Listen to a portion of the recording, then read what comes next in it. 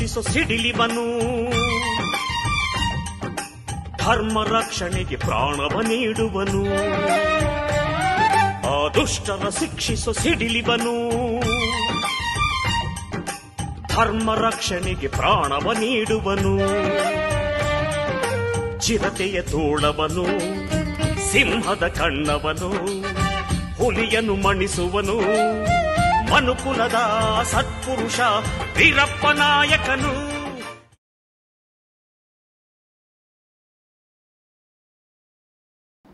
Hi, hello, ನಮಸ್ಕಾರ. ನಾನು ನಿಮ್ಮ ಕಿಶೋರ್ ಸರ್. ಕರ್ನಾಟಕ ಇತಿಹಾಸವನ್ನು ಮುಂಜಾನೆ ಕ್ಲಾಸ್ನು ಸಹಿತ ಮಾಡಿದ್ದೆ. ಇವತ್ತು ಸಾಯಂಕಾಲದ ಕ್ಲಾಸ್ನಲ್ಲಿಯೂ ಸಹಿತ ನಾನು ಬರ್ತಾ ಇದ್ದೀನಿ. ಸಿಲೆಬಸ್ಸನ್ನು ಕವರ್ ಮಾಡಬೇಕಂತ ಉದ್ದೇಶದಿಂದ ವಿದ್ಯಾರ್ಥಿಗಳ ಬೇಡಿಕೆ ಮೇರೆಗೆ ನಾವು ಇದನ್ನು ಮಾಡ್ತಾ ಇದ್ದೀವಿ.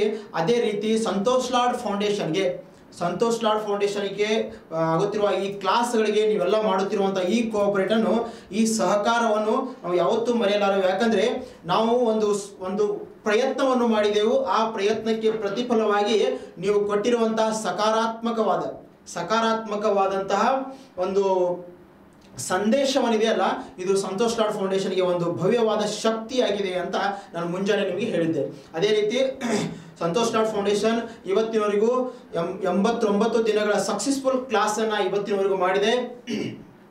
ಅದೇ ರೀತಿ ನಾವು ಮುಂಜಾನೆ ವಿಜಯನಗರ ಸಾಮ್ರಾಜ್ಯದ ಬಗ್ಗೆ ನೋಡ್ತಾ ಇದ್ವಿ. ಯಾವುದು? ವಿಜಯನಗರ ಸಾಮ್ರಾಜ್ಯದ ಬಗ್ಗೆ ನೋಡ್ತಾ ಇದ್ದೀವಿ. ಅದೇ ರೀತಿ ವಿಜಯನಗರ ಸಾಮ್ರಾಜ್ಯದ ವಿಜಯೋತ್ಸವಗಳನ್ನು ನೋಡಿದೀವಿ ಶ್ರೀಕೃಷ್ಣ ದೇವರಾಯನ ಆಡಳಿತವನ್ನು ನೋಡಿದೀವಿ ಶ್ರೀಕೃಷ್ಣ ದೇವರಾಯ ನೀಡಿರುವಂತಹ ಸಾಹಿತ್ಯಿಕ ಕೊಡುಗೆಗಳಿಗೆ ಬಂದಿದ್ವಿ. ಅದೇ ರೀತಿ ಶ್ರೀಕೃಷ್ಣ ದೇವರಾಯನ ವಿಜಯಗಳನ್ನು ನಾವು ನೋಡಿದ್ದೀವಿ. ನಾವು ಅದೇ ರೀತಿ ಶ್ರೀಕೃಷ್ಣನ ಸಾಹಿತ್ಯಿಕ ಕೊಡುಗೆಗಳು ಅಂತ ಹೇಳ್ತೀವಿ. ನೋಡ್ರಿ, ಶ್ರೀಕೃಷ್ಣ ದೇವರಾಯ ತೆಲುಗು ಮತ್ತು ಸಂಸ್ಕೃತ ಭಾಷೆಯ ಪಂಡಿತನಾಗಿದ್ದಾನೆ. ತೆಲುಗು ಮತ್ತು ಸಂಸ್ಕೃತ ಭಾಷೆಯ ಪಂಡಿತರಾಗಿದ್ದ. ಅದೇ ರೀತಿ ಈತನ ಆಸ್ಥಾನದಲ್ಲಿ ಕನ್ನಡದ ಕನ್ನಡದ ಕವಿಗಳು ಸಹಿತ ಇದ್ರು, ಕನ್ನಡದ ಸಾಹಿತಿಗಳು ಸಹಿತ ಇದ್ರು ಅಂತ ನಮಗೆ ಗೊತ್ತಾಗುತ್ತೆ. ಅದೇ ರೀತಿ ಈತ ಬರೆದಿರುವಂತಹ ಕೃತಿಗಳು ಅಮುಕ್ತ ಮೌಲ್ಯದ ಮತ್ತು ಜಾಂಬುವತಿ ಕಲ್ಯಾಣ ಅಂತ ಹೇಳ್ತೀವಿ. ಅಮುಕ್ತ ಮೌಲ್ಯದ ಮತ್ತು ಜಾಂಬುವತಿ ಕಲ್ಯಾಣ ಅಂತ ಹೇಳ್ತೀವಿ. ಈತನ ಆಸ್ಥಾನದಲ್ಲಿ ಅಷ್ಟದಿಗ್ಗಜರು ಎಂಬ ಕವಿಗಳು ಇದ್ರು. ಅಷ್ಟದಿಗ್ಗಜರು ಎಂಬ ಕವಿಗಳಿದ್ರು. ಅದರಲ್ಲಿ ಅಲ್ಲಾಸಾನಿ ಪೆದ್ದನ್ನ ಎಂಬ ಆಂಧ್ರ ಕವಿ, ಅಂದ್ರೆ ಆಂಧ್ರ ಕವಿತೆಗಳ ಪಿತಾಮಹ ಎಂದು ಹೆಗ್ಗಳಿಕೆಗೆ ಪಾತ್ರ ಆಗಿರುವಂತ ಅಲ್ಲಾಸಾನಿ ಪೆದ್ದನ್ನರು ಸಹಿತ ಅದರಲ್ಲಿ ಇದ್ದ ಅಂತ ಹೇಳ್ತೀವಿ. ತೆನಾಲಿ ರಾಮಕೃಷ್ಣನ್ ಅವ್ರ ಬಗ್ಗೆ ನೋಡ್ತೀವಿ. ತೆನಾಲಿ ರಾಮಕೃಷ್ಣನ್ ನಾವು ಏನಂತೀವಿ ಹಾಸ್ಯ ಕವಿತೆಗಳ ಪಿತಾಮಹ ಅಂತ ಕರಿತೀವಲ್ಲ. ಈ ತೆನಾಲಿ ರಾಮಕೃಷ್ಣನು ಸಹಿತ ಈತನ ಆಸ್ಥಾನದಲ್ಲಿ ಕವಿಯಾಗಿದ್ದ, ಅದೇ ರೀತಿ ಮಂತ್ರಿನೂ ಆಗಿದ್ದ ಅಂತ ಹೇಳಿ. ಚಾಣಾಕ್ಷ ಚಾಣಾಕ್ಷ ಮಂತ್ರಿ ಆಗಿದ್ದ ಅನ್ನೋದು ನಮಗೆ ಗೊತ್ತಾಗತ್ತ. ಅದೇ ರೀತಿ ಈತನಿಗೆ ನಾನು ಹೇಳಿದೆಲ್ಲ, ಅದೇ ರೀತಿ ಮುಂದೆ ಇವರ ವಾಸ್ತು, ವಾಸ್ತುಶಿಲ್ಪಕ್ಕೆ ಕೊಟ್ಟಿರುವಂತಹ ಶ್ರೇಷ್ಠವಾದ ಕೊಡುಗೆಗಳು ಅಂತ ಹೇಳ್ತೀವಿ. ವಾಸ್ತುಶಿಲ್ಪಕ್ಕೆ ಕೊಟ್ಟಿರುವಂತಹ ಶ್ರೇಷ್ಠವಾದ ಕೊಡುಗೆ ಅಂದ್ರೆ, ವಿಜಯನಗರ ಸಾಮ್ರಾಜ್ಯವು ಪ್ರತಿ ಸಾರಿ, ಪ್ರತಿಯೊಬ್ಬ ದೊರೆಯೂ ಸಹಿತ ಇವರು ಕೊಟ್ಟಿರುವಂತಹ ವಾಸ್ತುಶಿಲ್ಪಕ ಕೊಡುಗೆಗಳು. ವಾಸ್ತುಶಿಲ್ಪಕ ಕೊಡಿಗಳು ಇವತ್ತಿಗೂ ಸಹಿತ ಜಗತ್ತಿಗೆ ಜಗತ್ತಿಗೆ ಒಂದು ಶ್ರೇಷ್ಠವಾದ ಸಂದೇಶವನ್ನು ಕೊಡ್ತಾ ಇವೆ ಅಂತ ಹೇಳ್ತೀವಿ. ಈ ದ್ರಾವಿಡ ಶೈಲಿಯ ಮತ್ತು ಬೇಸರ ಶೈಲಿಯ ಈ ವ್ಯವಸ್ಥೆಯನ್ನು ಜಗತ್ತಿಗೆ ಶ್ರೇಷ್ಠವಾದ ಒಂದು ವ್ಯವಸ್ಥೆಗೆ, ಜಗತ್ತಿಗೆ ಶ್ರೇಷ್ಠವಾದಂಥ ಒಂದು ಸಂದೇಶವನ್ನು ಕೊಡುವುದರ ಮುಖಾಂತರ, ಜಗತ್ತಿಗೆ ಶ್ರೇಷ್ಠವಾದ ಸಂದೇಶವನ್ನು ಕೊಡುವುದರ ಮುಖಾಂತರ ಕನ್ನಡ ಭಾಷೆ ಮತ್ತು ಸಂಸ್ಕೃತಿ ನಾಡಿನ ಈ ಮಣ್ಣಿನ ಶ್ರೇಷ್ಠತೆಯನ್ನು ಜಗತ್ತಿಗೆ ಪರಿಚಯಿಸ್ತಾ ಇದೆ ಅಂತ ಹೇಳ್ತೀವಿ ಈತನ ಕಾಲದಲ್ಲಿ, ಅಂದ್ರೆ ಈತ ಪಟ್ಟಾಭಿಷೇಕ ಮಾಡಿಕೊಳ್ಳುವಂತ ಸಂದರ್ಭ, ಕೃಷ್ಣ ಜನ್ಮಾಷ್ಟಮಿಯ ದಿನದಂದು ಕೃಷ್ಣದೇವರಾಯ ಪಟ್ಟಾಭಿಷೇಕ ಮಾಡ್ಕೋತಾನ. ಮೂಲತಃ ಈತ ಶ್ರೀಕೃಷ್ಣನ ಪರಮ ಭಕ್ತನಾಗಿರ್ತಾನೆ. ವಿಠಲ, ಅಂದ್ರೆ ಪಂಡರ್ಪುರದ ವಿಠಲನ ಪರಮ ಭಕ್ತನಾಗಿರ್ತಾನೆ. ಪಾಂಡುರಂಗನ ಪರಮ ಭಕ್ತನಾಗಿರ್ತಾನೆ. ಈತನ ಬಗ್ಗೆ ಇರುವಂತ ಒಂದು ಕಥೆಯೂ ಸಹಿತ ಇದೆ. ಯಾಕಂದ್ರೆ ಪಾಂಡುರಂಗನನ್ನು ಪಂಡು ಪಂಡರ್ಪುರದಿಂದ ತಂದು ತನ್ನ ಹಂಪಿಯಲ್ಲಿ ಪ್ರತಿಷ್ಠಾಪನೆ ಮಾಡಿಕೊಂಡಿದ್ದ. ಹ್ಮ್? ಮತ್ತೆ ಅದೇ ಮೂರ್ತಿ ಮತ್ತೆ ಪಂಡರ್ ಪಂಡರ್ಪುರಿಗೆ ಹೋಗುತ್ತೆ. ಇವತ್ತಿನ ಪಂಡರ್ಪುರದ ಶ್ರೀ ವಿಠಲನ ದೇವಸ್ಥಾನದಲ್ಲಿ, ಪಾಂಡುರಂಗನ ದೇವಸ್ಥಾನದಲ್ಲಿ ಇರುವಂತಹ ಮೂರ್ತಿಯ ಶೈಲಿಯನ್ನು ನೋಡಿದಾಗ ನಮಗೆ ಗೊತ್ತಾಗತ್ತೆ. ಅಲ್ಲಿ ಒಂದು ವಿಷಯ ಗೊತ್ತಾಗತ್ತೆ. ವಿಜಯನಗರ ಸಾಮ್ರಾಜ್ಯದ ಕಾಲದಲ್ಲಿ ಇರುವಂತಹ ಮೂರ್ತಿಗಳನ್ನು ನಾವು ಹೋಲಿಸಿ ನೋಡಿದಾಗ ಅಲ್ಲಿ ನಮಗೆ ಗೊತ್ತಾಗೋದು ಆ ಶೈಲಿಯನ್ನು ನೋಡಿದಾಗ ವಿಜಯನಗರ ಸಾಮ್ರಾಜ್ಯದ ಕಾಲದಲ್ಲಿ ಆಗಿರಬಹುದು ಅಂತ ನಾವು ಹೇಳಬಹುದು. ಅದೇ ರೀತಿ ಪಾಂಡುರಂಗನ ಪರಮ ಭಕ್ತನಾಗಿರುವಂತಹ ಇದ್ದ ಪಂಡರ್ಪುರದಿಂದ ತನ್ನ ಆಸ್ಥಾನಕ್ಕೆ, ತನ್ನ ಹಂಪಿಗೆ ಕರೆದುಕೊಂಡು ಬಂದಿದ್ದ. ಆದರೆ ಮತ್ತೆ ಏನಾಗತ್ತಪ್ಪ ಅಂದ್ರೆ, ಅದೇ ಹಂಪಿಯಿಂದ ಆ ಮೂರ್ತಿ ಮತ್ತೆ ಪಂಡರ್ಪುರಕ್ಕೆ ಹೋಗುತ್ತೆ. ಇವತ್ತು ನಾವು ವಿಠಲನನ್ನು ನೋಡ್ತೀವಿ. ಪಂಡರ್ಪುರದಲ್ಲಿ ಇದು ಆ ಶೈಲಿಯನ್ನು ನೋಡಿದಾಗ ನಮ್ಗೆ ಗೊತ್ತಾಗುತ್ತೆ ವಿಜಯನಗರ ಸಾಮ್ರಾಜ್ಯವೇ ನೆನಪಾಗುತ್ತೆ. ಶ್ರೀಕೃಷ್ಣ ದೇವರಾಯನ ಕಾಲದ ವಾಸ್ತುಶಿಲ್ಪವೇ ನಮಗೆ ನೆನಪಾಗುತ್ತೆ ಅಂತ ಹೇಳ್ತೀವಿ. ಅದೇ ರೀತಿ ಪಟ್ಟಾಭಿಷೇಕದ ಸಮಯದಲ್ಲಿ ವಿರೂಪಾಕ್ಷ ದೇವಾಲಯವನ್ನು ಕಟ್ತಾನೆ ಅಂತ ಹೇಳ್ತಾರೆ. ವಿರೂಪಾಕ್ಷ ದೇವಾಲಯವನ್ನು ಕಟ್ತಾನ ಅಂತ ಹೇಳ್ತಾರೆ. ಅದೇ ರೀತಿ ಈ ವಿರೂಪಾಕ್ಷ ದೇವಾಲಯದ ದೇವಾಲಯಕ್ಕೆ ಭವನವನ್ನು, ಸಭಾಭವನವನ್ನು ಕಟ್ತಾನೆ. ಅಂದ್ರೆ ವಿರೂಪಾಕ್ಷ ದೇವಾಲಯ ಒಂದನೇ ಒಂದನೇ ಎರಡನೇ ದೇವರಾಯನ ಕಾಲಾವಧಿಯಲ್ಲಿ ನಿರ್ಮಾಣ ಆಗಿರ್ತದ ಬಟ್ ಅದಕ್ಕೆ ಮುಂದೆ ಒಂದು ಸಭಾಭವನವನ್ನು ಕಟ್ತಾನೆ. ಏನು? ಸಭಾಭವನವನ್ನು ಕಟ್ತಾನ ಅದೇ ರೀತಿ ಅದಕ್ಕೆ ಒಂದು ಗೋಪುರವನ್ನು ನಿರ್ಮಾಣ ಮಾಡ್ತಾನೆ.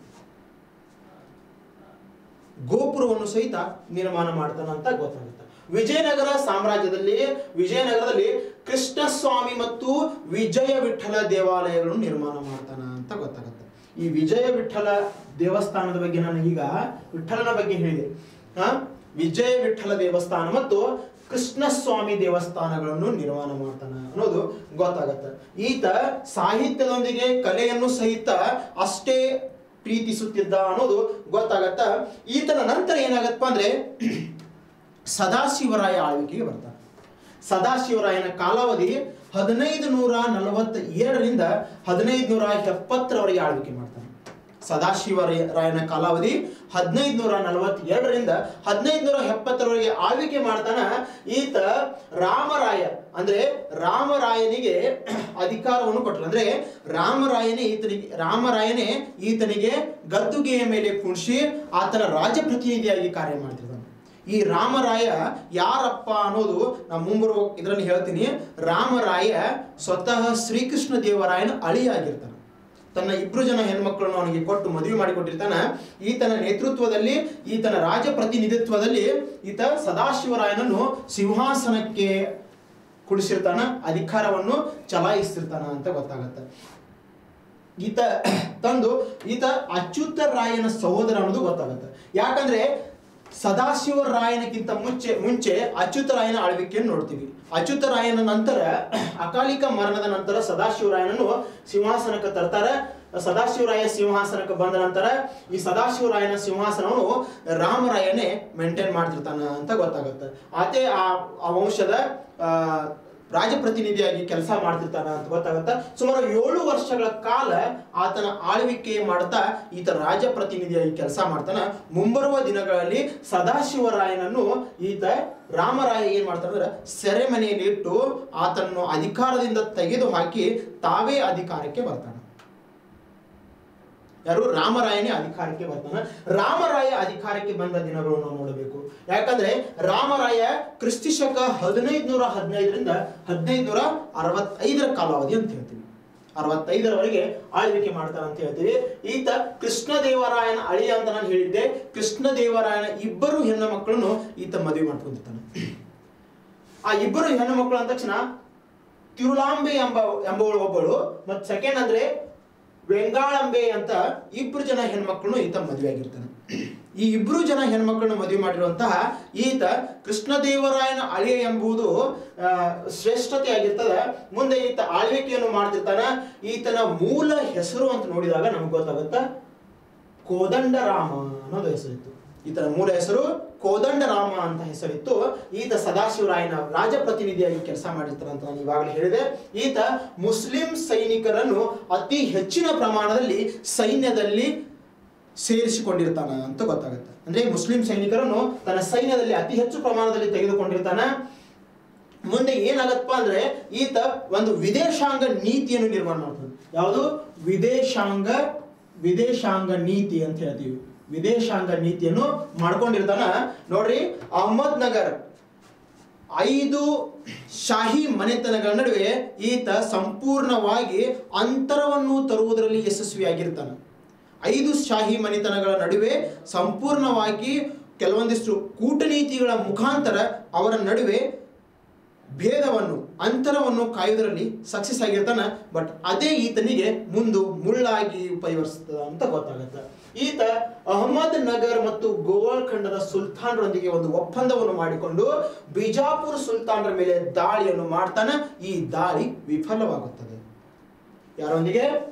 ಅಹಮದ್ ನಗರ್ ಮತ್ತು ಗೋವಲ್ಖಂಡ್ ಸುಲ್ತಾನ್ರೊಂದಿಗೆ ಒಂದು ಒಪ್ಪಂದವನ್ನು ಮಾಡ್ಕೊಳ್ಳೋ ಮುಖಾಂತರ ಆ ಒಪ್ಪಂದವು ಸಕ್ಸಸ್ ಆಗಿದ್ರೂ ಸಹಿತ ದಾಳಿ ವಿಫಲವಾಗುತ್ತೆ ಅಂತ ಹೇಳ್ತೀವಿ. ವಿಜಯನಗರ ಸಾಮ್ರಾಜ್ಯದ ಮೇಲೆ ಸಾರಿ ಬಿಜಾಪುರ ಮಣಿತನದ ಮೇಲೆ ಸುಲ್ತಾನರ ಮೇಲೆ ದಾಳಿಯನ್ನು ಮಾಡ್ತಾನೆ ಬಟ್ ಆ ದಾಳಿ ವಿಫಲವಾಗುತ್ತ ಅಂತ ಹೇಳ್ತೀವಿ. ಮುಂದೆ ಮತ್ತೊಂದು ಒಪ್ಪಂದ ಏನ್ ಮಾಡ್ಕೋತಂದ್ರೆ ಅಹಮದ್ ನಗರದೊಂದಿಗೆ ಒಪ್ಪಂದ ಮಾಡಿಕೊಂಡು ಬಿಜಾಪುರ್ ಮತ್ತು ಬಿರಾರ್ ಮೇಲೆ ದಾಳಿ ಮಾಡ್ತಾನೆ. ಬಿಜಾಪುರ್ ಮತ್ತು ಬಿರಾರ್ ಮೇಲೆ ದಾಳಿ ಮಾಡ್ತಾನೆ. ಬಟ್ ಅದು ಸಹಿತ ವಿಫಲತೆಯನ್ನೇ ಕಂಡುತ್ತೆ ಅಂತ ಗೊತ್ತಾಗುತ್ತೆ. ಮುಂದೆ ಏನಾಗುತ್ತೆ ಅಂದ್ರೆ ಖಂಡದೊಂದಿಗೆ ಒಂದು ಒಪ್ಪಂದ ಮಾಡ್ಕೊತಾನೆ. ಈ ಗೋವಾಳ ಖಂಡದೊಂದಿಗೆ ಒಂದು ಗೋಳ್ಖಂಡದ ರಾಜಮನೆತನದೊಂದಿಗೆ ಒಂದು ಒಪ್ಪಂದವನ್ನು ಮಾಡಿಕೊಂಡಾಗ ಒಪ್ಪಂದವನ್ನು ಮಾಡಿಕೊಂಡಾಗ ಅಹಮದ್ ನಗರ್ ಮತ್ತು ಬಿಜಾಪುರ ಮೇಲೆ ದಾಳಿ. ಇಲ್ಲಿ ನೋಡ್ರಿ, ಈತ ಒಪ್ಪಂದವನ್ನು ಯಾವ ರೀತಿ ಮಾಡ್ಕೊಂಡಾನ? ಯಾರ ಯಾರ ನಡುವೆ ಜಗಳ ಹಚ್ಚತಾನ ಅನ್ನೋದು ಗೊತ್ತಾಗುತ್ತೆ. ಇದು ರಾಜನೈತಿಕ ವಿಚಾರಧಾರೆ. ರಾಜನೈತಿಕವಾಗಿ ಆಡುವ ಆಟವಾಗಿತ್ತು ಬಟ್ ಅದು ಅದೇ ಈ ಸಾಮ್ರಾಜ್ಯಕ್ಕೆ ಮುಳ್ಳಾಗಿ ಪರಿವರ್ತನೆ ಆಗುತ್ತೆ. ಅಹಮದ್ ನಗರ್ ಮತ್ತು ಬಿಜಾಪುರ ಮೇಲೆ ದಾಳಿಯನ್ನು ಯಾರ ಮುಖಾಂತರ? ಗೋಲ್ಖಂಡದ ರಾಜಮನೆತನದೊಂದಿಗೆ ಒಪ್ಪಂದ ಮಾಡಿಕೊಳ್ಳುವುದರ ಮುಖಾಂತರ ಈ ದಾಳಿಯನ್ನು ಹೇರ್ತಾನೆ ಮುಂದೆ, ಈತ ಯುದ್ಧವನ್ನು ಸಾರಿ ಕೆಲವೊಂದಿಷ್ಟು ಭೂ ಪ್ರದೇಶಗಳು ಇವ್ರ ಇವರ ಮಧ್ಯೆ ಜಗಳ ಹಚ್ಚಿ ಅಲ್ಲಿರುವಂತ ಕೆಲವೊಂದಿಷ್ಟು ಭೂ ಪ್ರದೇಶವನ್ನು ಗೆಲ್ಲುವುದ್ರ ಮುಖಾಂತರ ಸಕ್ಸಸ್ ಅಂದ್ರೆ ಯಶಸ್ಸನ್ನು ಕಾಣ್ತಾನ ಅವಾಗ ಏನಾಗತ್ತ? ಈ ಐದು ಶಾಹಿ ಮನೆತನಗಳ ನಡುವೆ ಮಾಡಿರುವಂತಹ ಈ ಯುದ್ಧಗಳೇ ಮುಳ್ಳಾಗಿ, ಈ ಐದು ಶಾಹಿ ಮನೆತನಗಳು ಒಂದಾಗಿ ಮುಂದೆ ಒಂದು ಭವ್ಯವಾದಂತಹ ಯುದ್ಧಕ್ಕೆ ಕೈ ಹಾಕ್ತವ. ಇದು ಐತಿಹಾಸಿಕ ಬದಲಾವಣೆಗೆ ಕಾರಣಭೂತವಾಗುತ್ತೆ. ಐತಿಹಾಸಿಕ ಬದಲಾವಣೆಗೆ ಕಾರಣೀಭೂತವಾಗುತ್ತೆ. ಈತ ನಾನು ಹೇಳಿದ ಹಾಗೆ ಈ ಐದು ಶಾಹಿ ಮನೆತನಗಳ ನಡುವೆ ಒಂದು ಅಂತರವನ್ನು ಕಾಯ್ದುಕೊಳ್ಳುವುದರಲ್ಲಿ ಸಕ್ಸಸ್ ಆಗ್ತಾನ ಅಂತ ಗೊತ್ತಾಗುತ್ತೆ. ಸಕ್ಸಸ್ ಆಗ್ತಾನ. ಇದೇ ರೀತಿ ರಾಮರಾಯ ಮಾಡಿರುವಂತಹ ಈ ಕೂಟ ನೀತಿ ಮುಂದೆ ಈ ಐದು ಶಾಹಿ ಮನೆತನಗಳಿಗೆ ಗೊತ್ತಾದಾಗ ಅದು ಏನಾಗತ್ತಪ್ಪ ಅಂದ್ರೆ ಅದೇ ಮುಳ್ಳಾಗಿ ಪರಿವರ್ತನೆ ಆಗಿ ರಕ್ಕಸ ತಂಗಡಿ ಕಾಳಗಕ್ಕೆ ಕಾರಣೀಭೂತವಾಗುತ್ತೆ. ರಕ್ಕಸ ತಂಗಡಿ ಕಾಳಗ ಅಥವಾ ನಾವು ತಾಳಿಕೋಟೆ ಕದನ ಅಂತ ಹೇಳ್ತೀವಿ. ತಾಳಿಕೋಟೆ ಭೂಪ್ರದೇಶದಲ್ಲಿ ನಡೆದಿರುವಂತಹ ಈ ಭವ್ಯವಾದ ಅಂದ್ರೆ ಭಯಂಕರವಾದಂತಹ ಯುದ್ಧವು ಇದರ ಪರಿಣಾಮ ಏನಾಗುತ್ತೆ ಅಂದರೆ ವಿಜಯನಗರ ಸಾಮ್ರಾಜ್ಯದ ಅವನತಿಗೆ ಕಾರಣೀಭೂತವಾಗುತ್ತ ಅಂತ ಹೇಳ್ತೀವಿ. ರಾಮರಾಯನ ಮರಣಕ್ಕೆ ಕಾರಣೀಭೂತವಾಗುತ್ತ ಅಂತ ಹೇಳ್ತೀವಿ. ನೋಡ್ರಿ, ಯಾವುದು? ರಕ್ಕಸ ತಂಗಡಿ ಕಾಳಗ.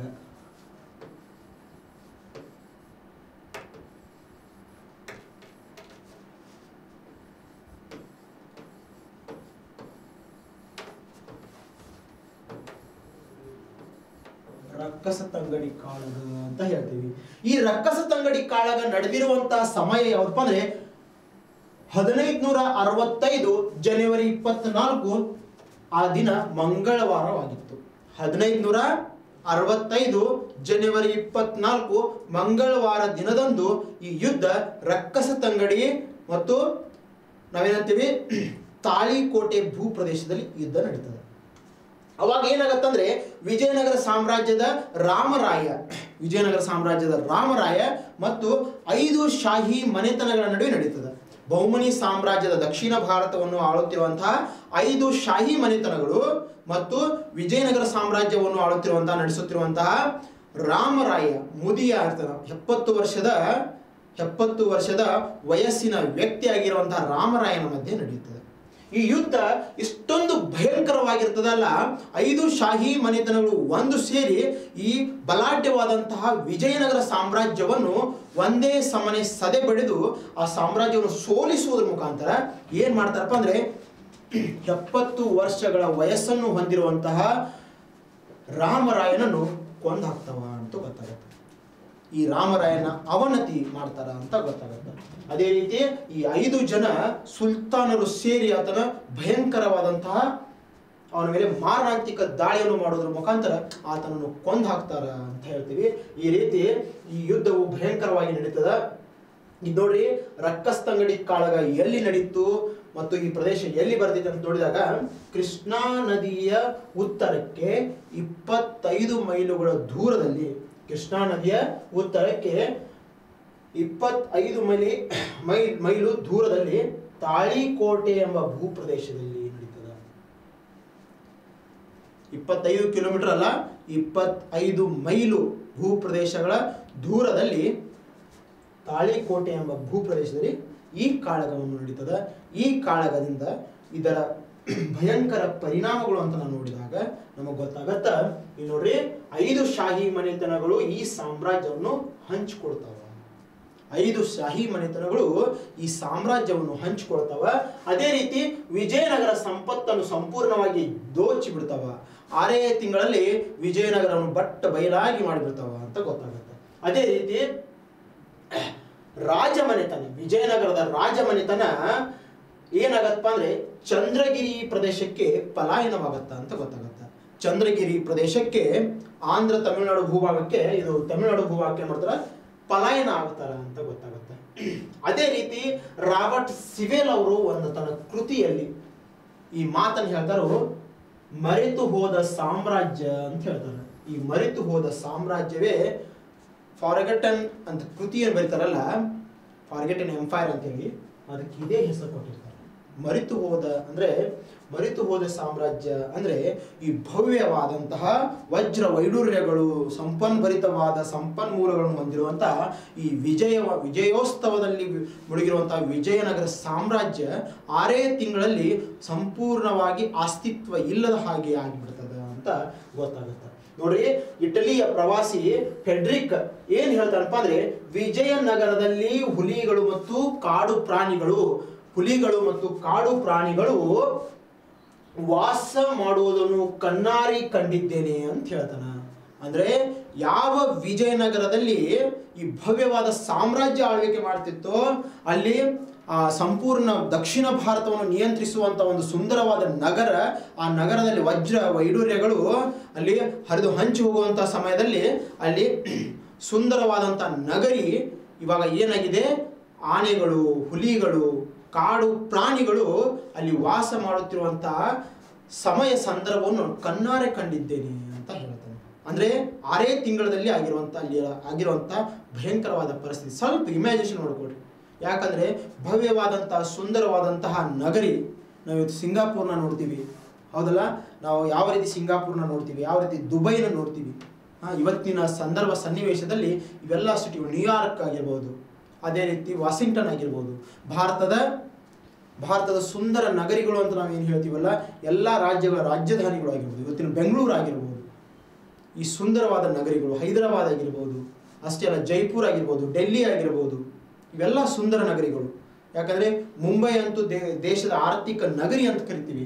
ಈ ರೀತಿ ಎಲ್ಲ ಇಂಥ ಸುಂದರ ನಗರಿಗಳು ನೋಡ್ತೀವಲ್ಲ, ಆ ಸಮಯದ ಜಗತ್ತಿನ ಸುಂದರ ನಗರಗಳಲ್ಲಿ ಯಾವುದಪ್ಪ? ಹಂಪಿ ಆಗಿತ್ತು ವಿಜಯನಗರ ಸಾಮ್ರಾಜ್ಯವಾಗಿತ್ತು. ಬಟ್ ಇವತ್ತಿನ ಸ್ಟೇಟ್ಮೆಂಟ್ ನಾವು ನೋಡಿದಾಗ, ಅವಾಗ ಅದೇ ಆರು ತಿಂಗಳ ನಂತರದಲ್ಲಿ ಇಟ್ಲಿ ಪ್ರವಾಸಿಗೆ ಏನು ಹೇಳ್ತಾನೆ ಯಾವ ಪ್ರದೇಶದಲ್ಲಿ ಭವ್ಯವಾದ ಸಾಮ್ರಾಜ್ಯ ಆಳ್ವಿಕೆ ಮಾಡ್ತಿತ್ತಲ್ಲ, ಆ ಪ್ರದೇಶದಲ್ಲಿ ಇವತ್ತು ಹುಲಿಗಳು, ಪ್ರಾಣಿಗಳು, ಕಾಡು ಪ್ರಾಣಿಗಳು ವಾಸ ಮಾಡುತ್ತಿರುವಂತಹ ಸನ್ನಿವೇಶವನ್ನು ನಾವು ನೋಡ್ತಿದ್ದೀವಿ ಅಂತ ಹೇಳ್ತಾನೆ ಈ ರೀತಿ ಸಾಮ್ರಾಜ್ಯದ ಅವನತಿ ಭಯಂಕರವಾಗಿರ್ತದ. ರಾಜಮನೆತನ ಪಲಾಯನಗೊಂಡು ಅಲ್ಲಿ ಏನ್ ಮಾಡುತ್ತಪ್ಪ ಅಂದ್ರೆ ಅಲ್ಲಿ ಮುಂದಿನ ಅರವೇಡು ಮನೆತನ ಅಂತ ಹೇಳ್ತೀವಿ ಅರವೇಡು ಮನೆತನ ಆಳ್ವಿಕೆ ಮಾಡ್ತದ. ಹದಿನೈದು ನೂರ ಎಪ್ಪತ್ತರಿಂದ ಹದಿನಾರು ನೂರ ನಲವತ್ತಾರು ರೀತಿ ಮುಂದುವರಿಯುತ್ತದೆ ಅವರ ಆಳ್ವಿಕೆ ಅಂತ ಹೇಳ್ತೀವಿ. ರಾಮರಾಯನ ಸಹೋದರ ಯಾರು ಬರ್ತಾರಪ್ಪ ಅಂದ್ರೆ ತಿರುಮಲ ಅಂತ ಹೇಳ್ತೀವಿ. ಈ ತಿರುಮಲ ಅಧಿಪತಿಯನ್ನು ಸಾಧಿಸಿ ಆಳ್ವಿಕೆಯನ್ನು ಪ್ರಾರಂಭಿಸ್ತಾನೆ ಪ್ರಾರಂಭಿಸ್ತಾನ ಈತ ಆ ಸಮಯದಲ್ಲಿ ಪೇನುಕೊಂಡವನ್ನು ತನ್ನ ರಾಜಧಾನಿಯನ್ನಾಗಿ ಮಾಡಿಕೊಂಡು ಆಳ್ವಿಕೆ ಮಾಡ್ತಾನೆ. ಆನೆಗುಂದಿ ಆನೆಗುಂದಿ ನಂತರ ಹಂಪಿ ಹಂಪಿ ನಂತರ ಪೇನುಕೊಂಡವನ್ನು ತನ್ನ ರಾಜಧಾನಿಯನ್ನಾಗಿ ಮೂರು ರಾಜಧಾನಿಗಳನ್ನು ಮಾಡಿಕೊಂಡು ಆಳ್ವಿಕೆ ಮಾಡಿರುವಂಥ ರಾಜಮನೆತನ ಯಾವುದಪ್ಪ ಅಂದ್ರೆ ವಿಜಯನಗರ ಸಾಮ್ರಾಜ್ಯ ಅನ್ನೋದು ನಮಗೆ ಗೊತ್ತಾಗಬೇಕು. ನೋಡ್ರಿ, ಇವ್ರು ಏನಾಗ್ತಾರ ಮುಂದಂದ್ರೆ ಮೂರನೇ ಶ್ರೀ ರಂಗರಾಯ ಅಂತ ಹೇಳಿ ವಿಜಯನಗರ ಸಾಮ್ರಾಜ್ಯದ ಕೊನೆಯ ದೊರೆ ಆಳ್ವಿಕೆ ಮಾಡ್ತಾರೆ. ಯಾರು? ಮೂರನೆಯ ಶ್ರೀರಂಗರಾಯಿ ಅಂತ ಹೇಳಿ ವ್ಯಕ್ತಿ ಏನ್ ಮಾಡ್ತಾನ? ವಿಜಯನಗರ ಸಾಮ್ರಾಜ್ಯದ ಕೊನೆಯ ಅರಸರಾಗಿ ಆಳ್ವಿಕೆ ಮಾಡ್ತಾನ. ಈತ ಗೋಳ್ಖಂಡ ಮತ್ತು ವಿಜಾಪುರದಿಂದ ಸೋತು ತನ್ನ ರಾಜ್ಯವನ್ನು ಕಳ್ಕೊತಾನೆ. ಗೋಳ್ಖಂಡದ ಸುಲ್ತಾನರು ಮತ್ತು ವಿಜಯಪುರದ ಸುಲ್ತಾನರಿಂದ ಸೋತು ಏನ್ ಮಾಡ್ತಾನೆ ಸಾಮ್ರಾಜ್ಯವನ್ನು ಕಳೆದುಕೊಳ್ತಾನ ಅಂತ ಗೊತ್ತಾಗುತ್ತೆ. ಇವರ ಆಡಳಿತ ವ್ಯವಸ್ಥೆ, ಆಡಳಿತ ಕೇಂದ್ರೀಕರಣ ವ್ಯವಸ್ಥೆ ಅಂತ ನಾವು ನೋಡಿದಾಗ, ನೋಡ್ರಿ ನಮಗೆ ಗೊತ್ತಾಗತ್ತ? ಇವರ ಆಡಳಿತ ವ್ಯವಸ್ಥೆಯನ್ನೇ ಒಡೆಯರು ಅಂತ ಹೇಳ್ತೀವಿ ನಾವು. ಈ ಒಡೆಯ ರಾಜಮನೆತನ ಏನ್ ಮಾಡುತ್ತೆ?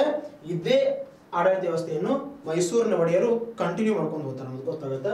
ಮುಂಬರುವ ವಿಜಯನಗರ ಸಾಮ್ರಾಜ್ಯದ ನಂತರ ಒಡೆಯರು ಏನ್ ಬರ್ತಾರಲ್ಲ ನಾವು ತಿಳ್ಕೊಬಹುದು ನೋಡ್ರಿ, ಇಲ್ಲಿ ನೋಡ್ರಿ, ವಿಜಯನಗರ ಸಾಮ್ರಾಜ್ಯ ಕೇಂದ್ರೀಕೃತವಾದಂತಹ ಆಡಳಿತ ವ್ಯವಸ್ಥೆ ಹೊಂದಿದ್ರು ರಾಜನೇ ಈ ಸಾಮ್ರಾಜ್ಯಕ್ಕೆ ಶ್ರೇಷ್ಠ ದೊರೆಯಾಗಿದ್ದ. ರಾಜನೇ ಈ ಸಾಮ್ರಾಜ್ಯಕ್ಕೆ ಶ್ರೇಷ್ಠ ಮಂತ್ರಿಮಂಡಲ ವ್ಯವಸ್ಥೆಯನ್ನು ಹೊಂದಿದ್ರು ಅಂತ ಗೊತ್ತಾಗತ್ತ. ಈ ಮಂತ್ರಿಮಂಡಲವನ್ನು ಮಹಾ ಪ್ರಧಾನಮಂತ್ರಿಗಳು ಅಂತ ಹೇಳ್ತೀವಿ. ಅಂದ್ರೆ ಪ್ರಧಾನಿ ಅಥವಾ ಮಹಾಪ್ರಧಾನಿ ಅಂತ ಹೇಳಿ ಪ್ರಧಾನಿ ಹುದ್ದೆಯು ಅವರಲ್ಲಿತ್ತು. ಪ್ರಧಾನಿ ಹುದ್ದೆ ಇತ್ತು. ಅದೇ ರೀತಿ ನೋಡ್ರಿ, ದಂಡನಾಯಕ ಮಹಾ ಸಾಮಂತ ಅಂತ ಹೇಳ್ತಾರೆ. ಅದೇ ರೀತಿ ಸಾಮ್ರಾಜ್ಯದಲ್ಲಿ ಸಾಮ್ರಾಜ್ಯದಲ್ಲಿ ರಾಜ್ಯ ಸಾಮಂತ ಎಂಬ ಅಧಿಕಾರಿಯು ರಾಜ್ಯನ ಆಜ್ಞೆಯನ್ನು ದೃಢೀಕರಿಸುತ್ತಿದ್ದ. ರಾಜ ಸಾಮಂತ ಎಂಬ ಅಧಿಕಾರಿಯು ರಾಜನ ಆಜ್ಞೆಯನ್ನು ದೃಢೀಕರಿಸುತ್ತಿದ್ದ ಈತ ಸೆಕ್ರೆಟರಿಯೇಟ್ ಲೆವೆಲ್ದಾಗ ವರ್ಕ್ ಮಾಡ್ತಿದ್ದ. ಇವತ್ತಿನ ಸೆಕ್ರೆಟರಿಯೇಟ್ ಲೆವೆಲ್ದಾಗ ವರ್ಕ್ ಮಾಡ್ತಿದ್ದ. ರಾಯಸಮ್ಮ ಅಂತ ಹೇಳಿ ಒಂದು ಇಲಾಖೆಯನ್ನು ಸ್ಥಾಪಿಸಿದರು. ಇದೇ ರೀತಿ ರಾಯಸಮ್ಮ ಎಂಬ ಇಲಾಖೆಯನ್ನು ಮಾಡಿದ್ರಲ್ಲ, ಇದೇ ರೀತಿ ಇಲಾಖೆಗಳನ್ನು ಮಾಡಿಕೊಂಡು ಆಳ್ವಿಕೆಯನ್ನು ಮಾಡುತ್ತಿರುವಂತ ಈ ರಾಜ ಮನೆತನ ಇವರು ಪ್ರಾಂತ್ಯಾಡಳಿತ ವ್ಯವಸ್ಥೆಯನ್ನು ಯಾವ ರೀತಿ ಇಟ್ಕೊಂಡಿದ್ರು ಅಂತ ನಾವು ನೋಡಬೇಕು. ಈ ಪ್ರಾಂತ್ಯಾಡ ಪ್ರಾಂತ್ಯದ ಆಡಳಿತ ವ್ಯವಸ್ಥೆಯು ಇವತ್ತಿನ ನಾವು ಕರ್ನಾಟಕದ ಅಥವಾ ಭರತ ಭೂಮಿಯ ಭರತ ಖಂಡದ ಭಾರತದ ಪ್ರಜಾಪ್ರಭುತ್ವ ವ್ಯವಸ್ಥೆ, ಆಡಳಿತ ವ್ಯವಸ್ಥೆಯನ್ನು ಮಾಡ್ತೀವಿ ನೋಡಬಹುದು. ನೋಡ್ರಿ ಇಲ್ಲಿ ಆಡಳಿತ ಅನುಕೂಲಕ್ಕಾಗಿ ರಾಜ್ಯಗಳನ್ನು ವಿಂಗಡಣೆ ಮಾಡಿದ್ರು ಅವರು. ನೋಡ್ರಿ, ಪ್ರಾಂತ್ಯಗಳಂತ ಏನ್ ಮಾಡಿದ್ರಲ್ಲ, ಅದಕ್ಕೆ ಪ್ರಾಂತ್ಯಾಧಿಕಾರಿ ಇಟ್ಟಿದ್ರು. ಈ ಪ್ರಾಂತ್ಯಗಳನ್ನು ನಾಡುಗಳಾಗಿ ಡಿವೈಡ್ ಮಾಡಿ ಇದಕ್ಕೆ ನಾಡಗಾವನ್ನ ಇಟ್ಕೊಂಡಿದ್ರು ಅಂತ ಗೊತ್ತಾಗುತ್ತೆ. ಅದೇ ರೀತಿ ಈ ನಾಡುಗಳನ್ನು ಸೀಮೆಗಳಾಗಿ ಡಿವೈಡ್ ಮಾಡಿ ಅದಕ್ಕೆ ಗೌಡ್ರಿಗೆ ಹೆಡ್ ಮಾಡಿದ್ರು. ಇಲ್ಲೇನು ಇಲ್ಲೇನು ಬರ್ತಾವಲ್ಲ ನ್ಯಾಯ, ಇಲ್ಲೇನು ಬರ್ತಾವಲ್ಲ ತಕರಾರುಗಳು, ಈ ಸೀಮೆಗೆ ಬರುವಂತ ತಕರಾರುಗಳು ಈ ಗೌಡ್ರೆ ಮುಗಿಸ್ಬೇಕು ಅಲ್ಲಿ. ಈ ರೀತಿ ಕೊಟ್ಟಿದ್ರು, ಅದೇ ರೀತಿ ಮಾಗನಿ ಎಂಬ ಭೂ ಪ್ರದೇಶವನ್ನು ಸಹಿತ ವಿಂಗಡಣೆ ಮಾಡಿದ್ರು. ಯಾವ ರೀತಿ? ಈ ವ್ಯವಸ್ಥೆಯನ್ನು ಇಟ್ಕೊಂಡಿದ್ರಲ್ಲ ಅದರಲ್ಲಿ ಮಾಗನಿ ಅಂತ ಡಿವೈಡ್ ಮಾಡಿದ್ರು. ಹಿಂಗ ಏನ್ ಮಾಡಿದ್ರು ಅಂದ್ರೆ ಒಂದೊಂದು ಒಂದೊಂದು ಡಿವೈಡ್ ಮಾಡಿ ವ್ಯವಸ್ಥಿತವಾದ, ಸುವ್ಯವಸ್ಥಿತವಾದ, ಭದ್ರವಾದ ಆಳ್ವಿಕೆಯನ್ನು ಕನ್ನಡದ ಜನರಿಗೆ ಕೊಡ್ತಿದ್ರು. ಕನ್ನಡದ ಜನರಿಗೆ ಕೊಡ್ತಿದ್ರು. ಈ ರೀತಿ ಏನಾಗತ್ತಪ್ಪ ಅಂದ್ರೆ ಇವರ ಆಡಳಿತ ವ್ಯವಸ್ಥೆಯನ್ನು ನಾವು ನೋಡಬಹುದು ಅಂತ ಗೊತ್ತಾಗುತ್ತೆ. ಅದೇ ರೀತಿ ಇವರ ಕಾಲದ ಸೇನಾಡಳಿತ ವ್ಯವಸ್ಥೆ ಅಂತ ನೋಡಬೇಕು.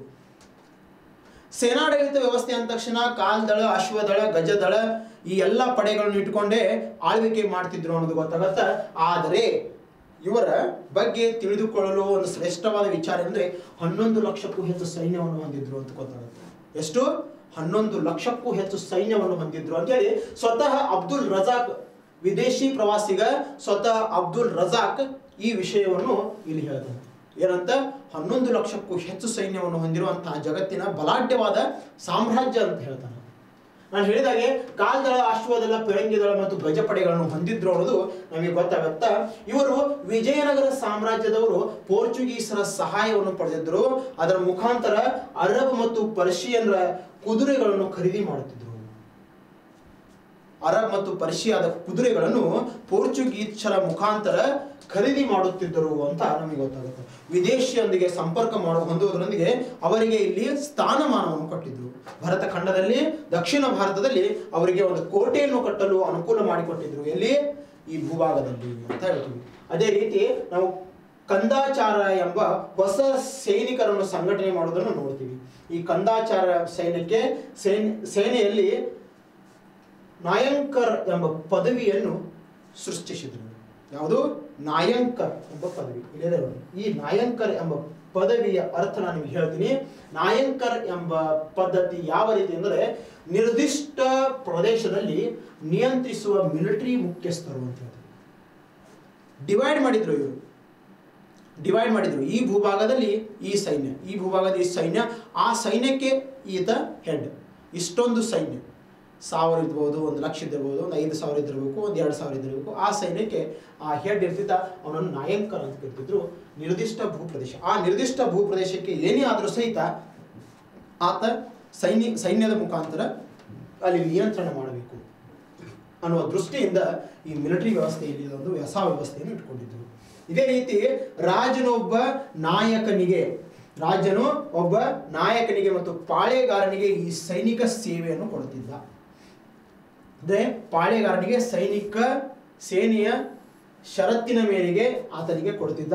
ಅದರ ಅನುಗುಣವಾಗಿ ಭೂಮಿಯನ್ನು ಭೂಮಿಯನ್ನು ಸಹಿತ ಕೊಡುತ್ತಿದ್ದರು ಈ ನಾಯಂಕರ್ ಪದ್ಧತಿಗೆ ಭೂಮಿಯನ್ನು ಸಹಿತ, ಯಾಕಂದ್ರೆ ಸೈನ್ಯವನ್ನು ಸಾಕಲು ಹಣ ಬೇಕಲ್ಲ.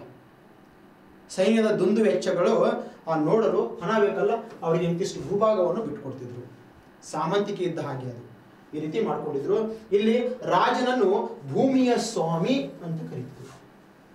ರಾಜನನ್ನು ಭೂಮಿಯ ಸ್ವಾಮಿ ಅಂತ ಕರೀತಿದ್ರು.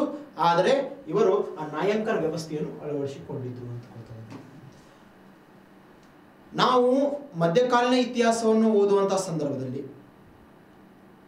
ಅಕ್ಬರ್ನ ಕಾಲಾವಧಿಯಲ್ಲಿ ಮನ್ಸಬ್ದಾರಿ ಪದ್ಧತಿಯನ್ನು ಓದ್ತೀವಿ.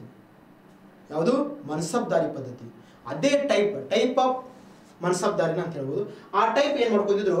ಇವರು ಸಹಿತ ಇಂತಿಷ್ಟು ಸೈನ್ಯದ ದುಂದು ವೆಚ್ಚವನ್ನು ನೀವು ನೋಡ್ಕೋಬೇಕು ಇಂತಿಷ್ಟು ಸೈನ್ಯದ ದುಂದು ವೆಚ್ಚವನ್ನು ನೀವು ನೋಡ್ಕೋಬೇಕು ಅದು ನಯಂಕರ್ ಪದ್ಧತಿ ಅಂತ ಕರಿತೀವಿ. ಈ ರೀತಿ ಮಾಡ್ಕೊಂಡಿದ್ರು. ಇದು ಸಾಮಾಜಿಕ ವ್ಯವಸ್ಥೆ. ಇವರ ಕಾಲದ ಸಾಮಾಜಿಕ ವ್ಯವಸ್ಥೆ ಅಂತ ನಾವು ನೋಡಿದಾಗ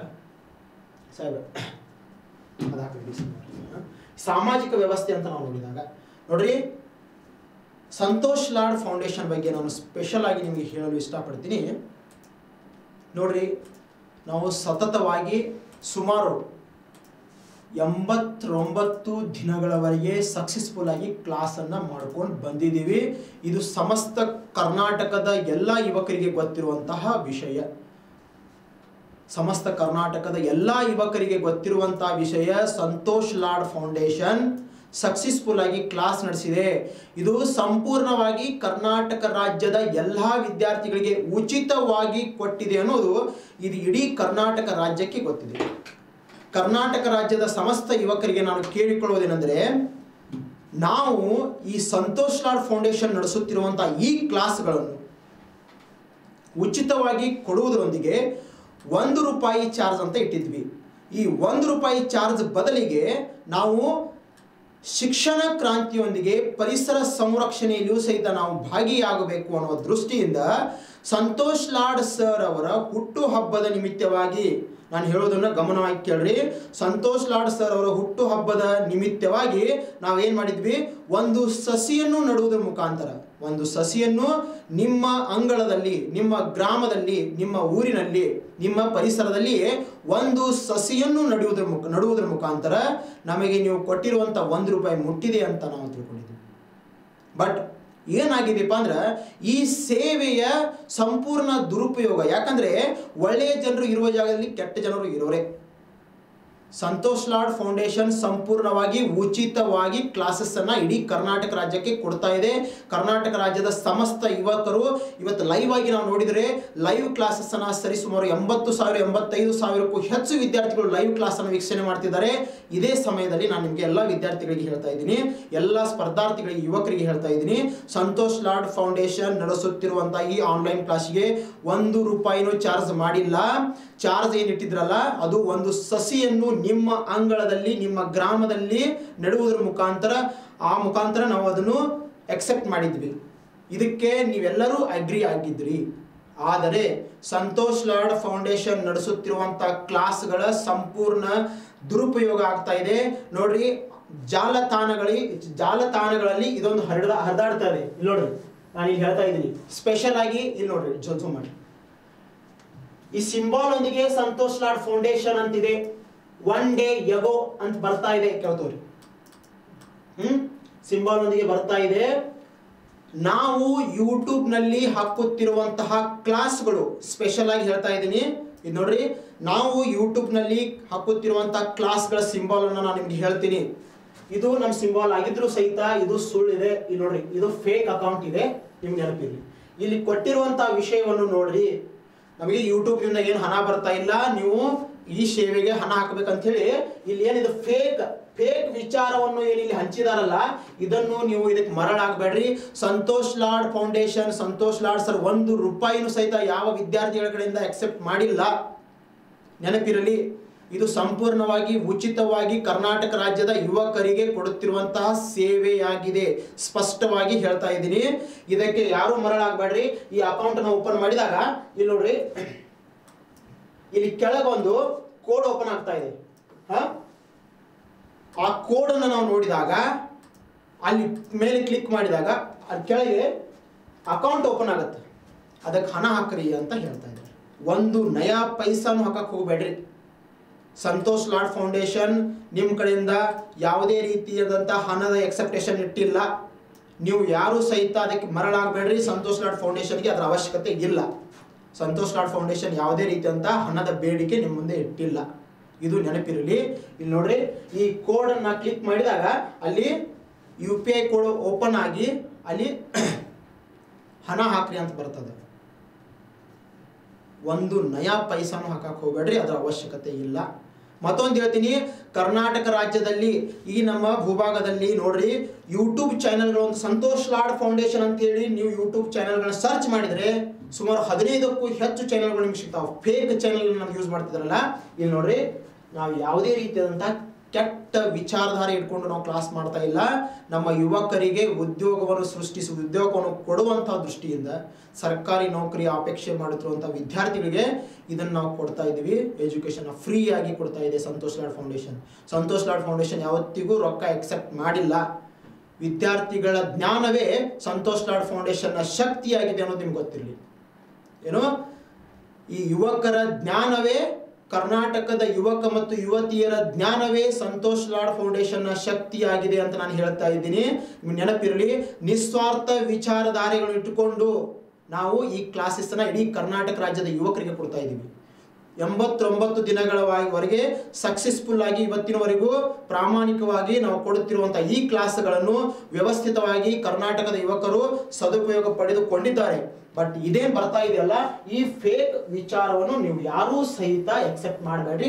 ಹಣದ ಅವಶ್ಯಕತೆ ಇಲ್ಲ. ಯಾರೂ ಒಂದು ರೂಪಾಯಿ ಹಾಕಕ್ಕೆ ಇದು ಫೇಕ್ ಇದೆ. ನಾನು ಡೈರೆಕ್ಟ್ ಆಗಿ ಕ್ಲಾಸಲ್ಲಿ ಡಿಸ್ಪ್ಲೇ ಮಾಡಿ ನಿಮ್ಗೆ ಹೇಳ್ತಾ ಇದ್ದೀನಿ. ಸಂತೋಷ್ ಲಾಡ್ ಫೌಂಡೇಶನ್ನ ಯೂಟ್ಯೂಬ್ ಕ್ಲಾಸಸ್ ನೀವು ಕೇಳೋದಿತ್ತಂದ್ರೆ ನಿಮಗೆ ಡೈರೆಕ್ಟ್ ಆಗಿ ಹೇಳ್ತೀನಿ, ಸಂತೋಷ್ ಲಾಡ್ ಫೌಂಡೇಶನ್ ಆ್ಯಪನ್ನು ಇನ್ಸ್ಟಾಲ್ ಮಾಡುವುದರ ಮುಖಾಂತರವೇ ಅಲ್ಲಿ ಸಂತೋಷ್ ಲಾಡ್ ಫೌಂಡೇಶನ್ನ ಆ್ಯಪ್ನಲ್ಲಿ ನಾವು ಕೆಳಗೆ ಕೊಟ್ಟಿರುವಂತಹ ಯೂಟ್ಯೂಬ್ನ ಒಂದು ಸಿಂಬಾಲ್ ಕೊಟ್ಟಿದ್ದೀವಿ. ಅದನ್ನು ಕ್ಲಿಕ್ ಮಾಡಿದಾಗ ನಮ್ಮ ಅಕೌಂಟ್ ಓಪನ್ ಆಗುತ್ತೆ. ಅದನ್ನು ನಿಮ್ಗೆ ನಿಮಗೆ ತೋರಿಸ್ತೀನಿ. ತೋರಿಸ್ತೀರಾ? ಅದನ್ನು ನಾನು ನಿಮಗೆ ತೋರಿಸ್ತೀನಿ. ಅಲ್ಲಿ ಸಂತೋಷ್ ಲಾಡ್ ಸರ್ ಅವರ ಚಿತ್ರ ಈ ಸಿಂಬಾಲ್ ಇಲ್ಲ. ಫೌಂಡೇಶನ್ನ ಸಿಂಬಾಲ್ ಇಟ್ಟಿಲ್ಲ ನಾವು ಅಲ್ಲಿ ಅಲ್ಲಿ ಸಂತೋಷ್ ಲಾಡ್ ಸರ್ ಅವರ ಚಿತ್ರವಿದೆ. ನಾವು ಫೌಂಡೇಶನ್ನ ಸಿಂಬಾಲ್ ಇಟ್ಟಿಲ್ಲ ಅಂತ ಹೇಳ್ತಿದ್ದೀವಿ. ನೋಡ್ರಿ ಇದೇನ ತಗ ತೋರಿಸಿ ತೋರಿಸ್ತೀನಿ. ಯಾಕಂದ್ರೆ ಇಲ್ಲಿ ಡಿಸ್ಪ್ಲೇ ಮಾಡೋದಕ್ಕಿಂತಲೂ ಡೈರೆಕ್ಟ್ ಆಗಿ ತೋರಿಸಿದ್ದೆ ಬೆಟರ್ ಅಂತ ನನಗೆ ಅನ್ಸುತ್ತೆ. ಇಲ್ಲಿ ನೋಡ್ರಿ, ನಾವು ಸಂತೋಷ್ ಲಾಡ್ ಫೌಂಡೇಶನ್ನ ಕ್ಲಾಸ್ಗಳು ಆ್ಯಪ್ನಲ್ಲಿ ಬಿಡೋದ್ರ ಮುಖಾಂತರ ಇಲ್ಲಿ ನೋಡಿ. ನಾವಿಲ್ಲಿ ಕೊಟ್ಟಿರುವಂತಹ ಯೂಟ್ಯೂಬ್ ಕ್ಲಾಸ್ಗಳು ಫಾಲೋ ಯೂಸ್ ಆನ್ ಅಂತ ಹೇಳ್ತೀವಲ್ಲ? ಈ ಫಾಲೋ ಯೂಸ್ ಆನ್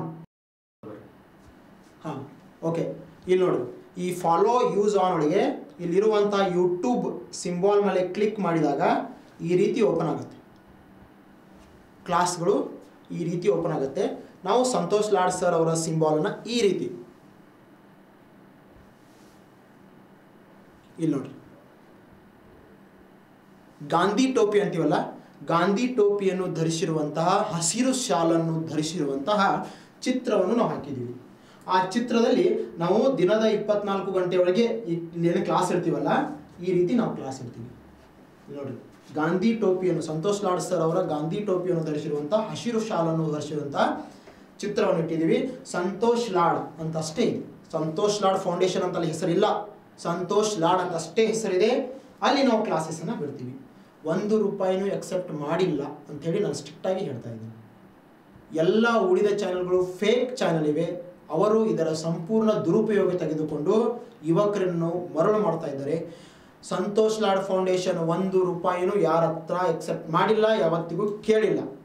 ಇದು ನಿಮಗೆ ಗೊತ್ತಿರಲಿ. ನಾನು ಡೈರೆಕ್ಟಾಗಿ ಓಪನ್ ಮಾಡಿ ತೋರಿಸಿದ್ರಿ ಇಲ್ಲಿ ನೋಡ್ರಿ, ನಮ್ಮ ಯೂಟ್ಯೂಬ್ ಚಾನಲ್ನಲ್ಲಿ ಬರುವಂತಹ ಈ ನಮ್ಮ ಪ್ಲೇಸ್ಟೋರ್ನಲ್ಲಿ ಬರುವಂತಹ ಸಂತೋಷ್ ಲಾಡ್ ಫೌಂಡೇಶನ್ ಆ್ಯಪ್ ಒಳಗೆ ಇಲ್ಲಿ ಯೂಟ್ಯೂಬ್ ಚಾನಲನ್ನು ಕ್ಲಿಕ್ ಮಾಡೋದ್ರ ಮುಖಾಂತರ ಸಂತೋಷ್ ಲಾಡ್ ಅಂತ ಅಷ್ಟೇ ಬರುತ್ತೆ.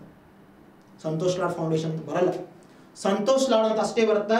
ಸಂತೋಷ್ ಲಾಡ್ ಸರ್ ಅವರ ಚಿತ್ರ ಯಾವ ರೀತಿ ಇದೆ? ಹಸಿರು ಶಾಲು ಅನ್ನು ಧರಿಸಿರುವಂತಹ ಗಾಂಧಿ ಟೋಪಿಯನ್ನು ಧರಿಸಿರುವಂತಹ ಚಿತ್ರವಿದೆ. ಅಲ್ಲಿ ನಾವು ಕೆಳಗೆ ಕ್ಲಾಸಸ್ ಅನ್ನು ಕೊಟ್ಟಿದ್ವಿ. ಉಳಿದ ಎಲ್ಲ ಯೂಟ್ಯೂಬ್ ಚಾನಲ್ಗಳು ಫೇಕ್ ಇವೆ. ನೀವು ಅಲರ್ಟ್ ಆಗಿರಿ.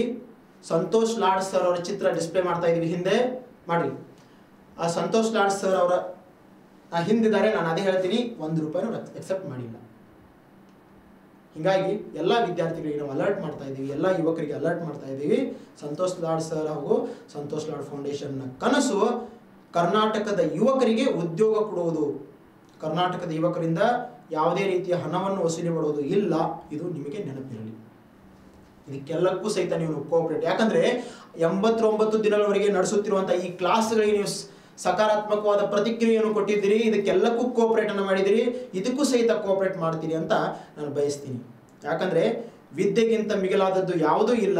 ಇದು ಏನಂತಾರೆ? ಹುಲಿಯ ಹಾಲಿನ ಹಾಗೆ ಅಂತ ಹೇಳ್ತಾರೆ. ನಾವು ಕೊಟ್ಟಿರುವಂತಹ ಹುದ್ದೆ ಆ ವಿದ್ಯೆ ತೊಂಬತ್ತು ದಿನಗಳ ಈ ಕೋರ್ಸನ್ನು ಪ್ರಾಮಾಣಿಕವಾಗಿ ವಿದ್ಯಾರ್ಥಿಗಳ ಭವಿಷ್ಯ ರೂಪಿಸುವ ಉದ್- ಉದ್ದೇಶದಿಂದ ಕೊಟ್ಟಿದ್ದೀವಿ. ಇಲ್ಲಿ ಆಗುತ್ತಿರುವಂತಹ ತಪ್ಪುಗಳು, ಸಾಮಾಜಿಕ ಜಾಲತಾಣಗಳಲ್ಲಿ ಆಗುತ್ತಿರುವಂತಹ ತಪ್ಪುಗಳು, ನೀವು ಅದನ್ನು ನೆಗ್ಲೆಕ್ಟ್ ಮಾಡಿ ಅಂತ ಹೇಳ್ತೀವಿ. ಅದು ನಮ್ಮದಲ್ಲ. ನಮ್ಮದು ಸಂತೋಷ್ ಲಾಡ್ ಸರ್ ಅವರ ಚಿತ್ರವನ್ನು ನೋಡಬೇಕಾದ್ರೆ ಯೂಟ್ಯೂಬ್ ನೋಡಬೇಕಾದ್ರೆ ಸಂತೋಷ್ ಲಾಡ್ ಅಂತ ಅಷ್ಟೇ ಇದೆ. ಸಂತೋಷ್ ಲಾಡ್ ಫೌಂಡೇಶನ್ ಅಂತಿಲ್ಲ. ಸಂತೋಷ್ ಲಾಡ್ ಫೌಂಡೇಶನ್ ಅಂತ ಹೇಳಿ ನಮ್ಮ ಆ್ಯಪ್ ಇದೆ, ನೀವು ಪ್ಲೇ ಪ್ಲೇಸ್ಟೋರಲ್ಲಿ ಡೌನ್ಲೋಡ್ ಮಾಡಿಕೊಂಡು ಅಲ್ಲಿ ಕೆಳಗೆ ಕೊಟ್ಟಿರುವಂತಹ ಯೂಟ್ಯೂಬ್ ಸಿಂಬಾಲ್ ಮೇಲೆ ಕ್ಲಿಕ್ ಮಾಡಿದಾಗ ಮಾತ್ರ ನಮ್ಮದು ಚಾನೆಲ್ ಓಪನ್ ಆಗುತ್ತೆ. ಅಲ್ಲಿ ನೀವು ಕ್ಲಾಸಸ್ಸನ್ನು ವ್ಯವಸ್ಥಿತವಾಗಿ ಕೇಳಬಹುದು ಅಂತ ಹೇಳ್ತೀನಿ. ಓಕೆ ಮುಂದಿನ ವಿಷಯವನ್ನು ನಾವು ನೋಡೋಣ. ಅಚ್ಯುತ, ಇದು ಸಾಮ್ರಾಜ್ಯದ ಸೋಲನ್ನು ನೋಡಿದ್ದೀವಿ. ವಿಜಯನಗರ ಸಾಮ್ರಾಜ್ಯದ ಸೋಲನ್ನು ನಾವು ಕಂಡಿದ್ದೀವಿ. ಈಗ ಮುಂದೆ ಆ ಪ್ರದೇಶದಿಂದ ಒಂದು ನಿಮಿಷ, ಇರಲಿ ಆ ಪ್ರದೇಶದಿಂದ ಪಲಾಯನ ಆಗಿದ್ದು ಮತ್ತು ಆಡಳಿತ ವ್ಯವಸ್ಥೆ, ಕೇಂದ್ರಾಡಳಿತ, ಕೇಂದ್ರ ಆಡಳಿತ ವ್ಯವಸ್ಥೆ ನೋಡಿದೀವಿ. ಸಾಮಾಜಿಕ ಸ್ಥಿತಿಗತಿ, ಇವರ ಕಾಲದ ಸಾಮಾಜಿಕ ವ್ಯವಸ್ಥೆ ಅಂತ ಹೇಳ್ತೀವಿ. ಈ ಸಾಮಾಜಿಕ ವ್ಯವಸ್ಥೆ ಅಂತ ನಾವು ನೋಡಿದಾಗ ಇವರು, ಇಲ್ಲಿ ನೋಡ್ರಿ, ಮಹಾನವಮಿ ಮತ್ತು ದಸರಾ ಹಬ್ಬವನ್ನು ಅಥವಾ ಈ ಮಹಾನವಮಿಯನ್ನು ದಸರಾ ಹಬ್ಬ ಅಂತ ಕರಿತೀವಿ. ಈ ದಸರಾ ಹಬ್ಬದ ಪರಂಪರೆಯನ್ನು ಜಾರಿಗೆ ತಂದರು? ಈ ದಸರಾ ಹಬ್ಬದ ಪರಂಪರೆ ಜಾರಿಗೆ ತರುವುದರ ಮುಖಾಂತರ ಜಗತ್ತಿಗೆ ಇವತ್ತಿಗೂ ಸಹಿತ ನಾವು ದಸರಾವನ್ನು ಮೈಸೂರಿನಲ್ಲಿ ಆಚರಣೆ ಮಾಡ್ತೀವಿ. ಅಂಬಾರಿಯನ್ನು ಆನೆಯ ಮೇಲೆ ಹೋರಿ. ನಾವು ಆ ಮೆರವಣಿಗೆಯನ್ನು ತೆಗಿತೀವಿ. ಜಗತ್ ಪ್ರಸಿದ್ಧವಾದ ದಸರಾ ಉತ್ಸವವನ್ನು ಪ್ರಾರಂಭಿಸಿದ ರಾಜ್ಯ ಮನೆತನವೇ ವಿಜಯನಗರ ಸಾಮ್ರಾಜ್ಯ. ಅದನ್ನು ಮುಂದುವರಿಸಿಕೊಂಡು ಹೋಗಿರುವಂತಹ ಸಾಮ್ರಾಜ್ಯ ಅಥವಾ ರಾಜ ಮನೆತನ ಒಡೆಯರು ಅಂತ ಹೇಳ್ತೀವಿ ಮೈಸೂರಿನ ಒಡೆಯರು ಇದೇ ಪರಂಪರೆಯನ್ನು ಪ್ರಜಾಪ್ರಭುತ್ವ ವ್ಯವಸ್ಥೆಯಲ್ಲಿ ಕರ್ನಾಟಕ ಸರ್ಕಾರ ಇವತ್ತಿಗೂ ಸಹಿತ ಕಂಟಿನ್ಯೂ ಮಾಡಿದೆ. ಜಗತ್ತಿಗೆ ಶ್ರೇಷ್ಠವಾದಂಥ ಕೊಡುಗೆಯನ್ನು ಕೊಟ್ಟಿದೆ ಅಂತ ಹೇಳ್ತೀನಿ. ಇವತ್ತಿಗೂ ಸಹಿತ ಆ ಪರಂಪರೆಯನ್ನು ಮುಂದುವರಿಸೋದ್ರ ಮುಖ- ಮುಖಾಂತರ ಕರ್ನಾಟಕ ಸರ್ಕಾರವು ತನ್ನ ಪರಂಪರೆಯನ್ನು ಜಗತ್ತಿಗೆ ಪ್ರತಿಬಿಂಬಿಸ್ತಾ ಇದೆ ಅಂತ ಗೊತ್ತಾಗುತ್ತೆ. ಅದೇ ರೀತಿ ಇವರ ರಾಜ್ಯದಲ್ಲಿ ದೇವದಾಸಿ ಮತ್ತು ವೈಶ್ಯವಾಟಿಕೆ ಅಂತ ಹೇಳ್ತೀವಲ್ಲ ವೈಶ್ಯವೃತ್ತಿ ಈ ಪದ್ಧತಿ ಜಾರಿಯಲ್ಲಿತ್ತು, ಆಚರಣೆಯಲ್ಲಿತ್ತು. ಇವರಿಗೆ ಸಮಾಜದಲ್ಲಿ ಒಂದು ಒಳ್ಳೆಯ ಸ್ಥಾನಮಾನವನ್ನು ಕೊಟ್ಟಿದ್ರು ಅಂತ ಹೇಳ್ತೀನಿ. ಸಮಾಜದಲ್ಲಿ ಒಂದು ಒಳ್ಳೆಯ ಸ್ಥಾನಮಾನವನ್ನು ಕೊಟ್ಟಿದ್ರು ಅಂತ ಗೊತ್ತಾಗುತ್ತೆ. ಇವರು ಸಂಗೀತವನ್ನು ಹಾಡೋದ್ರ ಮುಖಾಂತರ ನೃತ್ಯವನ್ನು ಮಾಡುತ್ತಿದ್ರು. ಏನು? ನೃತ್ಯವನ್ನು ಮಾಡುತ್ತಿದ್ರು. ಈ ನೃತ್ಯದಲ್ಲಿ ನುರಿತಂತ ಇವರು ಪ್ರವಾಸಿಗರ ಮನ- ಮನಸ್ಸನ್ನು ಸೆಳೆಯುತ್ತಿದ್ರು. ಅಂದ್ರೆ ಆಸ್ಥಾನಕ್ಕೆ ಬಂದಿರುವಂತಹ ಗೆಸ್ಟ್ಗಳಿಗೆ ಮನಸ್ಸನ್ನು ಸೆಳೆಯುವಂತ ಕೆಲಸ ಮಾಡ್ತಿದ್ರು. ಯಾಕಂದ್ರೆ ಅವಾಗ ಟಿವಿ ಇರಲಿಲ್ಲ, ಅವಾಗ ಹೀರೋ ಇರಲಿಲ್ಲ ಹೀರೋಯಿನಿಗಳು ಇರಲಿಲ್ಲ. ಇವರೇ ಹೀರೋ ಹೀರೋಯಿನಿಗಳು ಇವರು ಮಾಡುತ್ತಿರುವಂತಹ ಡಾನ್ಸ್ಗಳೇ ಲೈವ್ ಆಗಿ ನಡೀತಿದ್ರು ಅಷ್ಟೇ ಲೈವ್ ಆಗಿ ನಡೆಯುತ್ತಿದ್ರು ಈ ಸಾಮ್ರಾಜ್ಯದಲ್ಲಿ ಅತ್ಯುನ್ನತವಾದ ಸ್ಥಾನಮಾನವನ್ನು ಅವರಿಗೆ ಕೊಟ್ಟಿದ್ರು. ಅಳಿಯ ರಾಮರಾಯನ ಕಾಲದಲ್ಲಿ ಕ್ಷೌರಿಕರು, ಅಂದ್ರೆ ಕ್ಷೌರಿಕರ ಬಗ್ಗೆ ವಿಶೇಷವಾಗಿ ಹೇಳಲು ನಾನು ಇಷ್ಟಪಡ್ತೀನಿ. ಆ ಸಮಯದಲ್ಲಿ ಕ್ಷೌರಿಕರು ವಿಶೇಷ ಸವಲತ್ತುಗಳನ್ನು ಹೊಂದಿದ್ರು ಅಂತ ಹೇಳ್ತೀವಿ. ಕ್ಷೌರಿಕರು ವಿಶೇಷ ಸವಲತ್ತುಗಳನ್ನು ಹೊಂದಿದ್ದರು ಅಂದ ತಕ್ಷಣ. ಕಾರಣ ಏನಪ್ಪಾ ಅಂದ್ರೆ, ಕಾರಣ ಆಗಿರಬಹುದು, ಗುಪ್ತದಳ ಇಲಾಖೆಯನ್ನು ಮಾಡಿಕೊಂಡಿರಬಹುದು ಜನ ಕ್ಷೌರಿಕರ ಹತ್ರ ಹೋಗ್ತಾರೆ. ತಿಂಗಳಿಗೆ ಒಮ್ಮೆ ಹೋಗ್ಬೋದು, ವಾರಕ್ಕೊಮ್ಮೆ ಹೋಗ್ಬೋದು, ಹೌದಲ್ಲ? ಆ ಸಮಯದಲ್ಲಿ ನಡೆಯುತ್ತಿರುವಂತಹ ಡಿಸ್ಕಷನ್ ಗುಪ್ತದಳ ಇಲಾಖೆಯ ಮುಖಾಂತರ ರಾಜನಿಗೆ ಹೋಗುತ್ತಿರಬಹುದು. ಕ್ಷೌರಿಕರಿಗೆ ಒಂದು ಶ್ರೇಷ್ಠವಾದ ಸ್ಥಾನಮಾನವನ್ನು ಕೊಟ್ಟಿದ್ರು ಅಂತ ಗೊತ್ತಾಗುತ್ತೆ ಅದೇ ರೀತಿ ಈ ಸಾಮ್ರಾಜ್ಯದ ಆರ್ಥಿಕ ಸ್ಥಿತಿಗತಿ ಅಂತ ನೋಡೋಣ. ಈ ಸಾಮ್ರಾಜ್ಯದ ಆರ್ಥಿಕ ಸ್ಥಿತಿಗತಿ ಅಂತ ನೋಡಿದಾಗ ಇವರು ವಿದೇಶಿ ವ್ಯಾಪಾರಕ್ಕೆ ಹೆಚ್ಚಿನ ಪ್ರಾಶಸ್ತ್ಯವನ್ನು ನೋಡಿದ್ರು. ಸಮುದ್ರದ ಮುಖಾಂತರ, ಜಲಮಾರ್ಗಗಳ ಮುಖಾಂತರ ವಿದೇಶಿ ವ್ಯಾಪಾರವನ್ನು ಮಾಡ್ತಿದ್ರು. ಅಷ್ಟೇ ಅಲ್ಲ, ಯಾವ ಯಾವ ರಾಷ್ಟ್ರಗಳೊಂದಿಗೆ ಇವರು ಸಂಪರ್ಕವನ್ನು ಹೊಂದಿದ್ರು? ಅಂದ್ರೆ ಮಲಯ ಅಂತ ಹೇಳ್ತೀವಿ. ಮಲೇಷಿಯಾ ಮಲಯ ಅಂತ ಹೇಳ್ತೀವಿ. ಅದೇ ರೀತಿ ಬರ್ಮಾ ಅಂತ ಹೇಳ್ತೀವಿ, ಚೀನಾ ಅಂತ ಹೇಳ್ತೀವಿ. ಹ್ಮ್? ಅದೇ ರೀತಿ ಅರೇಬಿಯಾ, ಅರೇಬಿಯನ್ ರಾಷ್ಟ್ರಗಳೊಂದಿಗೆ, ಪರ್ಷಿಯಾ ರಾಷ್ಟ್ರಗಳೊಂದಿಗೆ ಕುದುರೆಗಳಷ್ಟೇ ಅಲ್ಲ ಬೇರೆ ಬೇರೆ ವಸ್ತುಗಳನ್ನು ಸಹಿತ ರಫ್ತು ಮಾಡು ತೆಗೆದುಕೊಳ್ಳೋದ್ರ ಮುಖಾಂತರ ಅವ್ರಿಗೆ ಕೊಡೋದು ಸಹಿತ ಮಾಡ್ತಿದ್ರು. ಈ ನೋಡಿ ಪೋರ್ಚುಗೀಸರ ದೇಶದೊಂದಿಗೆ ವಾಣಿಜ್ಯ ಸಂಪರ್ಕವನ್ನು ಹೊಂದಿದ್ರು ಅನ್ನೋದು ಇದು ಯುರೋಪಿಯನ್ ರಾಷ್ಟ್ರ. ವಾಣಿಜ್ಯ ಸಂಪರ್ಕವನ್ನು ಹೊಂದಿದ್ರು ಗೊತ್ತಾಗುತ್ತೆ. ಕುದುರೆಗಳು, ಆನೆಗಳು, ಮುತ್ತುಗಳು, ರತ್ನ, ಹವಳ, ರೇಷ್ಮೆ ರೇಷ್ಮೆ, ಅದೇ ರೀತಿ ಅನೇಕ ವಸ್ತುಗಳನ್ನು ಆಮದು ಮಾಡಿಕೊಳ್ಳುತ್ತಿದ್ರು ಅಂತ ಕುದುರೆ, ಆನೆ, ಮುತ್ತು, ರತ್ನ, ಹವಳ, ರೇಷ್ಮೆ ಈ ಭೂ ಪ್ರದೇಶಕ್ಕೆ ಆಮದು ಮಾಡಿಕೊಡುತ್ತಿದ್ರು ಅಂತ ಗೊತ್ತಾಗುತ್ತೆ. ಇನ್ನು ರಫ್ತು ಮಾಡುತ್ತಿರುವಂತಹ ವಿಷಯ ವಸ್ತುಗಳು ಅಂತ ನೋಡಿದಾಗ, ಅದೇ ರೀತಿ ಕಬ್ಬಿಣದ ಅದಿರುಗಳು, ಬಟ್ಟೆಗಳು, ಸಕ್ಕರೆ, ಅಕ್ಕಿ, ಸಾಂಬಾರು ಪದಾರ್ಥಗಳು ಎಲ್ಲ ರಫ್ತು ಮಾಡ್ತಿದ್ರು ಅಂತ ಗೊತ್ತಾಗುತ್ತೆ. ಕಬ್ಬಿಣದ ಅದಿರುಗಳು, ಅದೇ ರೀತಿ ಬಟ್ಟೆ, ಸಕ್ಕರೆ, ಅಕ್ಕಿ, ಇವೆಲ್ಲವುಗಳು ಸಾಂಬಾರು ಪದಾರ್ಥಗಳು ಅಂತ ಹೇಳ್ತೀವಿ. ಇದರಲ್ಲಿ ಮತ್ತು ಕರಿಮೆಣಸು ಅತಿ ಹೆಚ್ಚು ಸಪ್ಲೈ ಆಗುತ್ತಿರುವಂತಹ ವಸ್ತು ಆಗಿತ್ತು. ನಾವು ಸಾಂಬಾರು ಪದಾರ್ಥಗಳ ರಾಣಿ ಅಂತ ಕರಿತೀವಲ್ಲ, ಅದು ಸಹಿತ ಹೆಚ್ಚಿನ ಪ್ರಮಾಣದಲ್ಲಿ ಇದು ವಿದೇಶಕ್ಕೆ ಹೋಗುತ್ತಿತ್ತು ವಿಜಯನಗರ ಸಾಮ್ರಾಜ್ಯ ಇದನ್ನು ಕರಿಮೆಣಸನ್ನು ಹೆಚ್ಚಿನ ಪ್ರಮಾಣದಲ್ಲಿ ರಫ್ತನ್ನು ಮಾಡುತ್ತಿತ್ತು ಅನ್ನೋದು ನಮ್ಗೆ ಗೊತ್ತಾಗುತ್ತೆ. ವಿಜಯನಗರ ಸಾಮ್ರಾಜ್ಯದ ಕಾಲದ ಬಂದರುಗಳು ಅಂತ ಹೇಳ್ತೀವಿ. ಯಾಕಂದ್ರೆ ಇವರ ಆಡಳಿತ ವ್ಯವಸ್ಥೆಯಲ್ಲಿ ಇವರು ಏನ್ ಮಾಡಿದಾರಪ್ಪ ಅಂದ್ರೆ ಸಮುದ್ರ ಮಾರ್ಗವನ್ನು ಬಳಸಿಕೊಂಡಿದ್ದಾರೆ. ಸಮುದ್ರ ಮಾರ್ಗದ ಮುಖಾಂತರವೇ ಇವರು ವಿದೇಶಿ ವ್ಯಾಪಾರವನ್ನು ಮಾಡುತ್ತಿದ್ರು. ಇಲ್ಲಿ ನೋಡ್ರಿ, ಇವರ ಮುಖ್ಯವಾದ ಬಂದರು ಅಂದ್ರೆ ಕ್ಯಾಲಿಕಟ್ ಅಂತ ಹೇಳಿದ್ರು ಕ್ಯಾಲಿಕಟ್ ಬಂದರ ಇವರ ಮುಖ್ಯವಾದ ಬಂದರವಾಗಿತ್ತು ಅದೇ ರೀತಿ ಅಬ್ದುಲ್ ರಜಾಕ್. ಏನ್ ಹೇಳ್ತಾನಪ್ಪ ಅಂದ್ರೆ ವಿಜಯನಗರ ಸಾಮ್ರಾಜ್ಯದಲ್ಲಿ, ಅಬ್ದುಲ್ ರಜಾಕ್ ವಿಜಯನಗರ ಸಾಮ್ರಾಜ್ಯದಲ್ಲಿ ಮುನ್ನೂರಕ್ಕೂ ಹೆಚ್ಚು, ಮುನ್ನೂರಕ್ಕೂ ಹೆಚ್ಚು ಬಂದರುಗಳು ಹೊಂದಿದ್ರು ಅಂತ ಸ್ವತಃ ಅಬ್ದುಲ್ ರಜಾಕ್ ತನ್ನ ಕೃತಿಯಲ್ಲಿ ಬರೀತಾನೆ. ಉದಾಹರಣೆಗಾಗಿ ಕೆಲವೊಂದಿಷ್ಟು ನೋಡಬಹುದು ಪಶ್ಚಿಮದಲ್ಲಿ ಕ್ಯಾಲಿಕಟ್, ಅಂಕೋಲಾ, ಕುಂಬಳ, ಮಂಗಳೂರು, ಬಯದೂರು, ಬಯ ಬಯ, ಬಯಲೂರು ಅಂತ ಬರುತ್ತೆ. ಬಯ, ಬಯದೂರು ಅಂತ ಹೇಳಿದ್ರೆ ಭಟ್ಕಳ ಅಂತ ಹೇಳ್ತೀವಿ ಹೊನ್ನಾವರ ಅಂತ ಹೇಳ್ತೀವಿ. ಇದು ಎಲ್ಲವೂ ಸಹಿತ ಅವರ ಕಾಲದಲ್ಲಿ ಇದ್ದವು ಅಂತ ಗೊತ್ತಾಗುತ್ತೆ. ಅದೇ ರೀತಿ ಇವರು ಕೃಷಿ ವ್ಯವಸ್ಥೆಯನ್ನು ಡೆವಲಪ್ ಮಾಡಿದ್ದಾರೆ. ಆದಾಯ ಅಂತ ನಾವು ನೋಡಿದಾಗ ರಾಜ್ಯಕ್ಕೆ ಆದಾಯವಾಗಿ ಮೂಲವಾಗಿ ಕೃಷಿ ವ್ಯವಸ್ಥೆಯಿಂದನೇ ಬರ್ತಿತ್ತು. ಎಲ್ಲ ರಾಜಮನೆತನಗಳು ಅಷ್ಟೇ. ಇವತ್ತಿಗೂ ಸಹಿತ ಭಾರತದ ಜನ ಅತಿ ಹೆಚ್ಚು ಅವಲಂಬನೆ ಇರೋದು ಕೃಷಿ ವ್ಯವಸ್ಥೆಯಲ್ಲಿ. ಈ ಕೃಷಿ ವ್ಯವಸ್ಥೆ ಮತ್ತು ನೀರಾವರಿಗೆ ಕೊಟ್ಟಿರುವಂತಹ ಶ್ರೇಷ್ಠವಾದ ಕೊಡುಗೆಯನ್ನು ನೋಡಿದಾಗ ಬಳ್ಳಾರಿ ಮತ್ತು ರಾಯಚೂರು ಜಿಲ್ಲೆಗಳಲ್ಲಿ ಇವತ್ತಿನ ಬಳ್ಳಾರಿ ಮತ್ತು ರಾಯಚೂರು ಜಿಲ್ಲೆ, ಈ ಬಳ್ಳಾರಿ ಅಂದ ತಕ್ಷಣ ಬಳ್ಳಾರಿಯೊಂದಿಗೆ ನಾವೇನ್ ಮಾಡ್ತೀವಿ? ವಿಜಯನಗರ ಇಲ್ಲಿ ಬರೀತೀನಿ. ವಿಜಯನಗರ ಜಿಲ್ಲೆನೂ ಸಹಿತ ಇಲ್ಲಿ ಬರ್ತದೆ. ವಿಜಯ ನಗರ ಜಿಲ್ಲೆ. ಬಳ್ಳಾರಿ, ರಾಯಚೂರು, ವಿಜಯನಗರ ಜಿಲ್ಲೆಯನ್ನು ನೋಡಿದಾಗ ತುಂಗಭದ್ರಾ ನದಿಗೆ ಕಾಲುವೆಗಳನ್ನು ನಿರ್ಮಾಣ ಮಾಡೋದ್ರ ಮುಖಾಂತರ ಕೃಷಿ ವ್ಯವಸ್ಥೆಯನ್ನು ಡೆವಲಪ್ ಮಾಡಿದ್ರು. ಕುಡಿಯುವ ನೀರಿನ ವ್ಯವಸ್ಥೆ ಹಂಪಿ ಸಿಟಿಗೆ ಹಂಪಿ ನಗರಕ್ಕೆ ಕುಡಿಯುವ ಕುಡಿಯುವ ನೀರಿನ ವ್ಯವಸ್ಥೆಯನ್ನು ಮಾಡೋದ್ರ ಮುಖಾಂತರ ಎಕ್ಸ್ಟ್ರಾ ನೀರನ್ನು ಅದು ಕೆರೆ ನಿರ್ಮಾಣ ಮಾಡೋದ್ರ ಮುಖಾಂತರ ಮುಂದುವರಿಸಿಕೊಂಡು ಹೋಗ್ತಿದ್ರು. ಕೆರೆಗಳು ಅತಿ ಹೆಚ್ಚು ನಿರ್ಮಾಣ ಮಾಡೋದ್ರ ಮುಖಾಂತರ ಕೃಷಿಗೆ ವ್ಯವಸ್ಥಿತವಾದ ನೀರನ್ನು ಒದಗಿಸಿದ್ರು. ಅವರ ಕಾಲದಲ್ಲಿ ಆಗಿರುವಂಥ ಆ ಬದಲಾವಣೆಗಳೇ ಇವತ್ತು ರಾಯಚೂರು ಭೂಭಾಗದಲ್ಲಿ, ಬಳ್ಳಾರಿ ಭೂಭಾಗದಲ್ಲಿ, ಕೊಪ್ಪಳದ ಕೆಲವೊಂದಿಷ್ಟು ಭೂಭಾಗದಲ್ಲಿ. ಅದರೊಂದಿಗೆ ವಿಜಯನಗರ ಎಂಬ ಹೊಸ ಜಿಲ್ಲೆಯಲ್ಲಿ ಈ ಭೂಭಾಗದಲ್ಲಿ ರೈಸ್ ಅಕ್ಕಿಯನ್ನು ಬೆಳೆಯುತ್ತಿರುವಂಥ ಭೂಭಾಗ ನೋಡ್ತೀವಲ್ಲ ಡೆವಲಪ್ಮೆಂಟ್ ಮಾಡಿರೋದು ಇವತ್ತಿನಿಂದಲ್ಲ ವಿಜಯನಗರ ಸಾಮ್ರಾಜ್ಯದ ಕಾಲದಿಂದ ಅಂತ ಗೊತ್ತಾಗುತ್ತೆ. ಈ ರೀತಿ ಈ ಸಾಮ್ರಾಜ್ಯವು ತನ್ನ ಸೇವೆಯನ್ನು ಸಲ್ಲಿಸುತ್ತಾ ಇವರ ಕಾಲದ ನಾಣ್ಯಗಳು ಅಂತ ನೋಡಿದಾಗ ಪಗೋಡ, ತಾರಾ ಮತ್ತು ಜೀತಾಲ ಅಂತ ಹೇಳ್ತೀವಿ. ಪಗೋಡ, ತಾರಾ ಮತ್ತು ಜೀತಾಲ ಎಂಬ ನಾಣ್ಯ ವ್ಯವಸ್ಥೆಯನ್ನು ಹೊಂದಿದ್ರು. ಭೂಕಂದಾಯ ವ್ಯವಸ್ಥೆ ಅಂತ ಹೇಳ್ತೀವಿ. ರಾಯ ರೇಖ ಪದ್ಧತಿ ಅಂತ ಗೊತ್ತಾಗುತ್ತೆ. ರಾಯ ರೇಖ ಪದ್ಧತಿ ಅಂತ ಹೇಳ್ತೀವಿ. ಈ ರಾಯ ರೇಖ ಪದ್ಧತಿ ಭೂಕಂದಾಯ ವ್ಯವಸ್ಥೆ ಭೂಮಿಯನ್ನು ಅಳೆಯಲು ಇವ್ರು ಏನ್ ಮಾಡ್ತಿದ್ರು? ಭೂಮಿಯನ್ನು ಅಳಲು ರಾಯ ವಿಭೂ, ವಿಭಾತ ನರಕು ಅಂಬೆ ಎಂಬ ವಿಷಯ ವಸ್ತುವನ್ನು ಬಳಸುತ್ತಿದ್ರು. ಗಂಡರ ಗಂಡ ಕೋಲು ಅಂತ ಹೇಳ್ತಾರೆ. ಗಂಡರ ಗಂಡನ ಕೋಲು ಅಂತ ಹೇಳ್ತಾರೆ. ಈ ಮಾಪನ ವ್ಯವಸ್ಥೆಯನ್ನು ಬಳಸುತ್ತಿದ್ರು. ರಾಯ ವಿಭಾತ ನಕೂಲು ಅಂತ ಹೇಳ್ತಾರೆ. ಅದೇ ರೀತಿ ಗಂಡರ ಗಂಡನ ಕೋಲು ಅಂತ ಹೇಳ್ತಾರೆ. ಈ ವ್ಯವಸ್ಥೆಯನ್ನು ಭೂಮಾಪನ ವ್ಯವಸ್ಥೆಯಲ್ಲಿ ಬಳಸುತ್ತಿದ್ರು.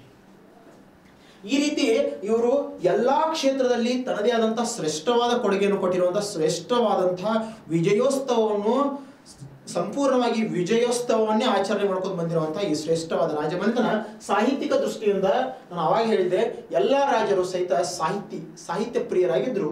ಹೀಗಾಗಿ ಸಾಹಿತ್ಯದ ದೃಷ್ಟಿಯಿಂದ ಶ್ರೇಷ್ಠವಾದ ಕೊಡುಗೆಯನ್ನು ಕೊಟ್ಟಿದ್ದಾರೆ. ಇವರು ತೆಲುಗು ಸಂಸ್ಕೃತ ಮತ್ತು ಕನ್ನಡ ಭಾಷೆಗಳಿಗೆ ಹೆಚ್ಚಿನ ಪ್ರಾಶಸ್ತ್ಯವನ್ನು ಕೊಡುವ ಮುಖಾ- ಮುಖಾಂತರ ಅನೇಕ ಕೃತಿಗಳನ್ನು ರಚನೆ ಮಾಡಿದ್ದಾರೆ ಅಂತ ಗೊತ್ತಾಗುತ್ತೆ. ಇಲ್ಲಿ ನೋಡ್ರಿ, ಅಲ್ಲಾಸಾನಿ ಪೆದ್ದನ್ನ ಅಂತ ಹೆಸರು ಕೇಳ್ತೀವಿ, ಮನುಚರಿತೆ ಎಂಬ ಕೃತಿಯನ್ನು ಬರೀತಾನೆ. ಈ ಮನುಚರಿತೆ ಎಂಬ ಕೃತಿ ಚರಿತ್ರೆ ಎಂಬ ಕೃತಿ ಮುಂದೆ ಈತನಿಗೆ ಮತ್ತೊಂದು ಹೆಸರನ್ನು ಕೊಡ್ತಾರೆ, ಆಂಧ್ರದ ಕವಿಗಳ ಪಿತಾಮಹ. ಆಂಧ್ರ ಕವಿಗಳ ಪಿತಾಮಹ ಅಂತ ಈ ಆಂಧ್ರ ಕವಿ ಅಲ್ಲಾಸಾನಿ ಪೆದ್ದನ ಈತನ ಆಸ್ಥಾನದಲ್ಲಿ ಇದ್ದ ಅದೇ ರೀತಿ ನಂದಿ ತಿಮ್ಮಣ್ಣ ಅಂತ ಹೇಳ್ತೀವಿ. ಈ ತರ ಕೃತಿ.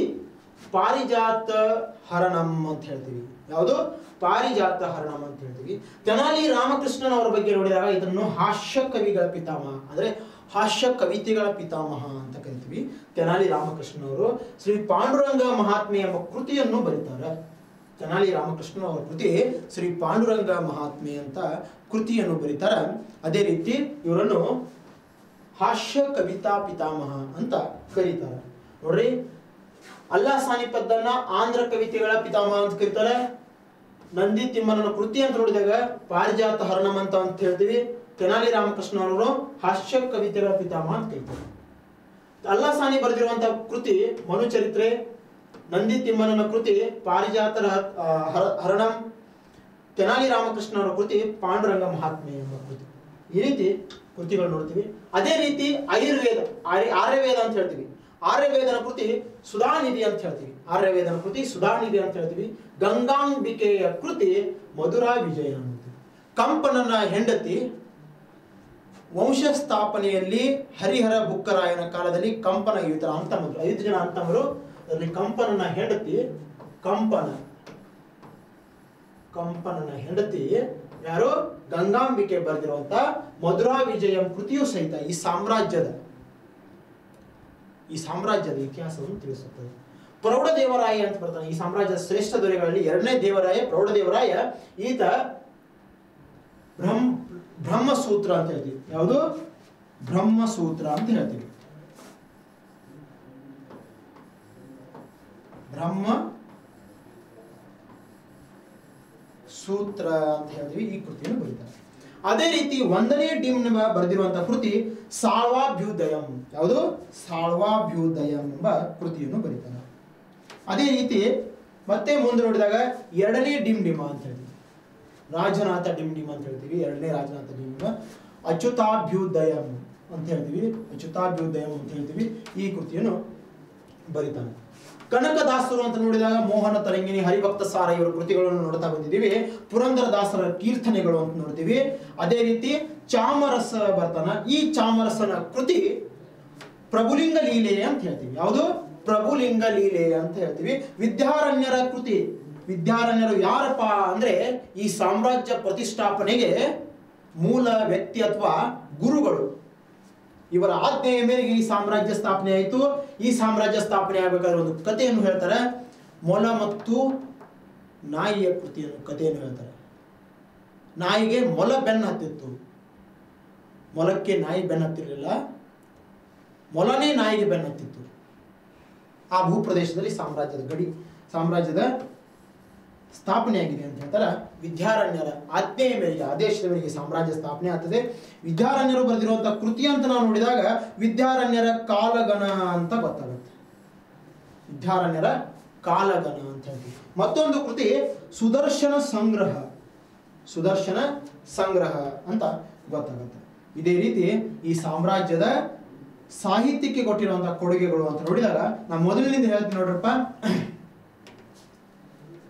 ಇವರು ಕೊಟ್ಟಿರುವಂತಹ ಕೃತಿಗಳು. ಅಲ್ಲಾಸಾನಿ ಪೆದ್ದಣ್ಣನ ಅಲ್ಲಾಸಾನಿ ಪೆದ್ದಣ್ಣನ ಕೃತಿ.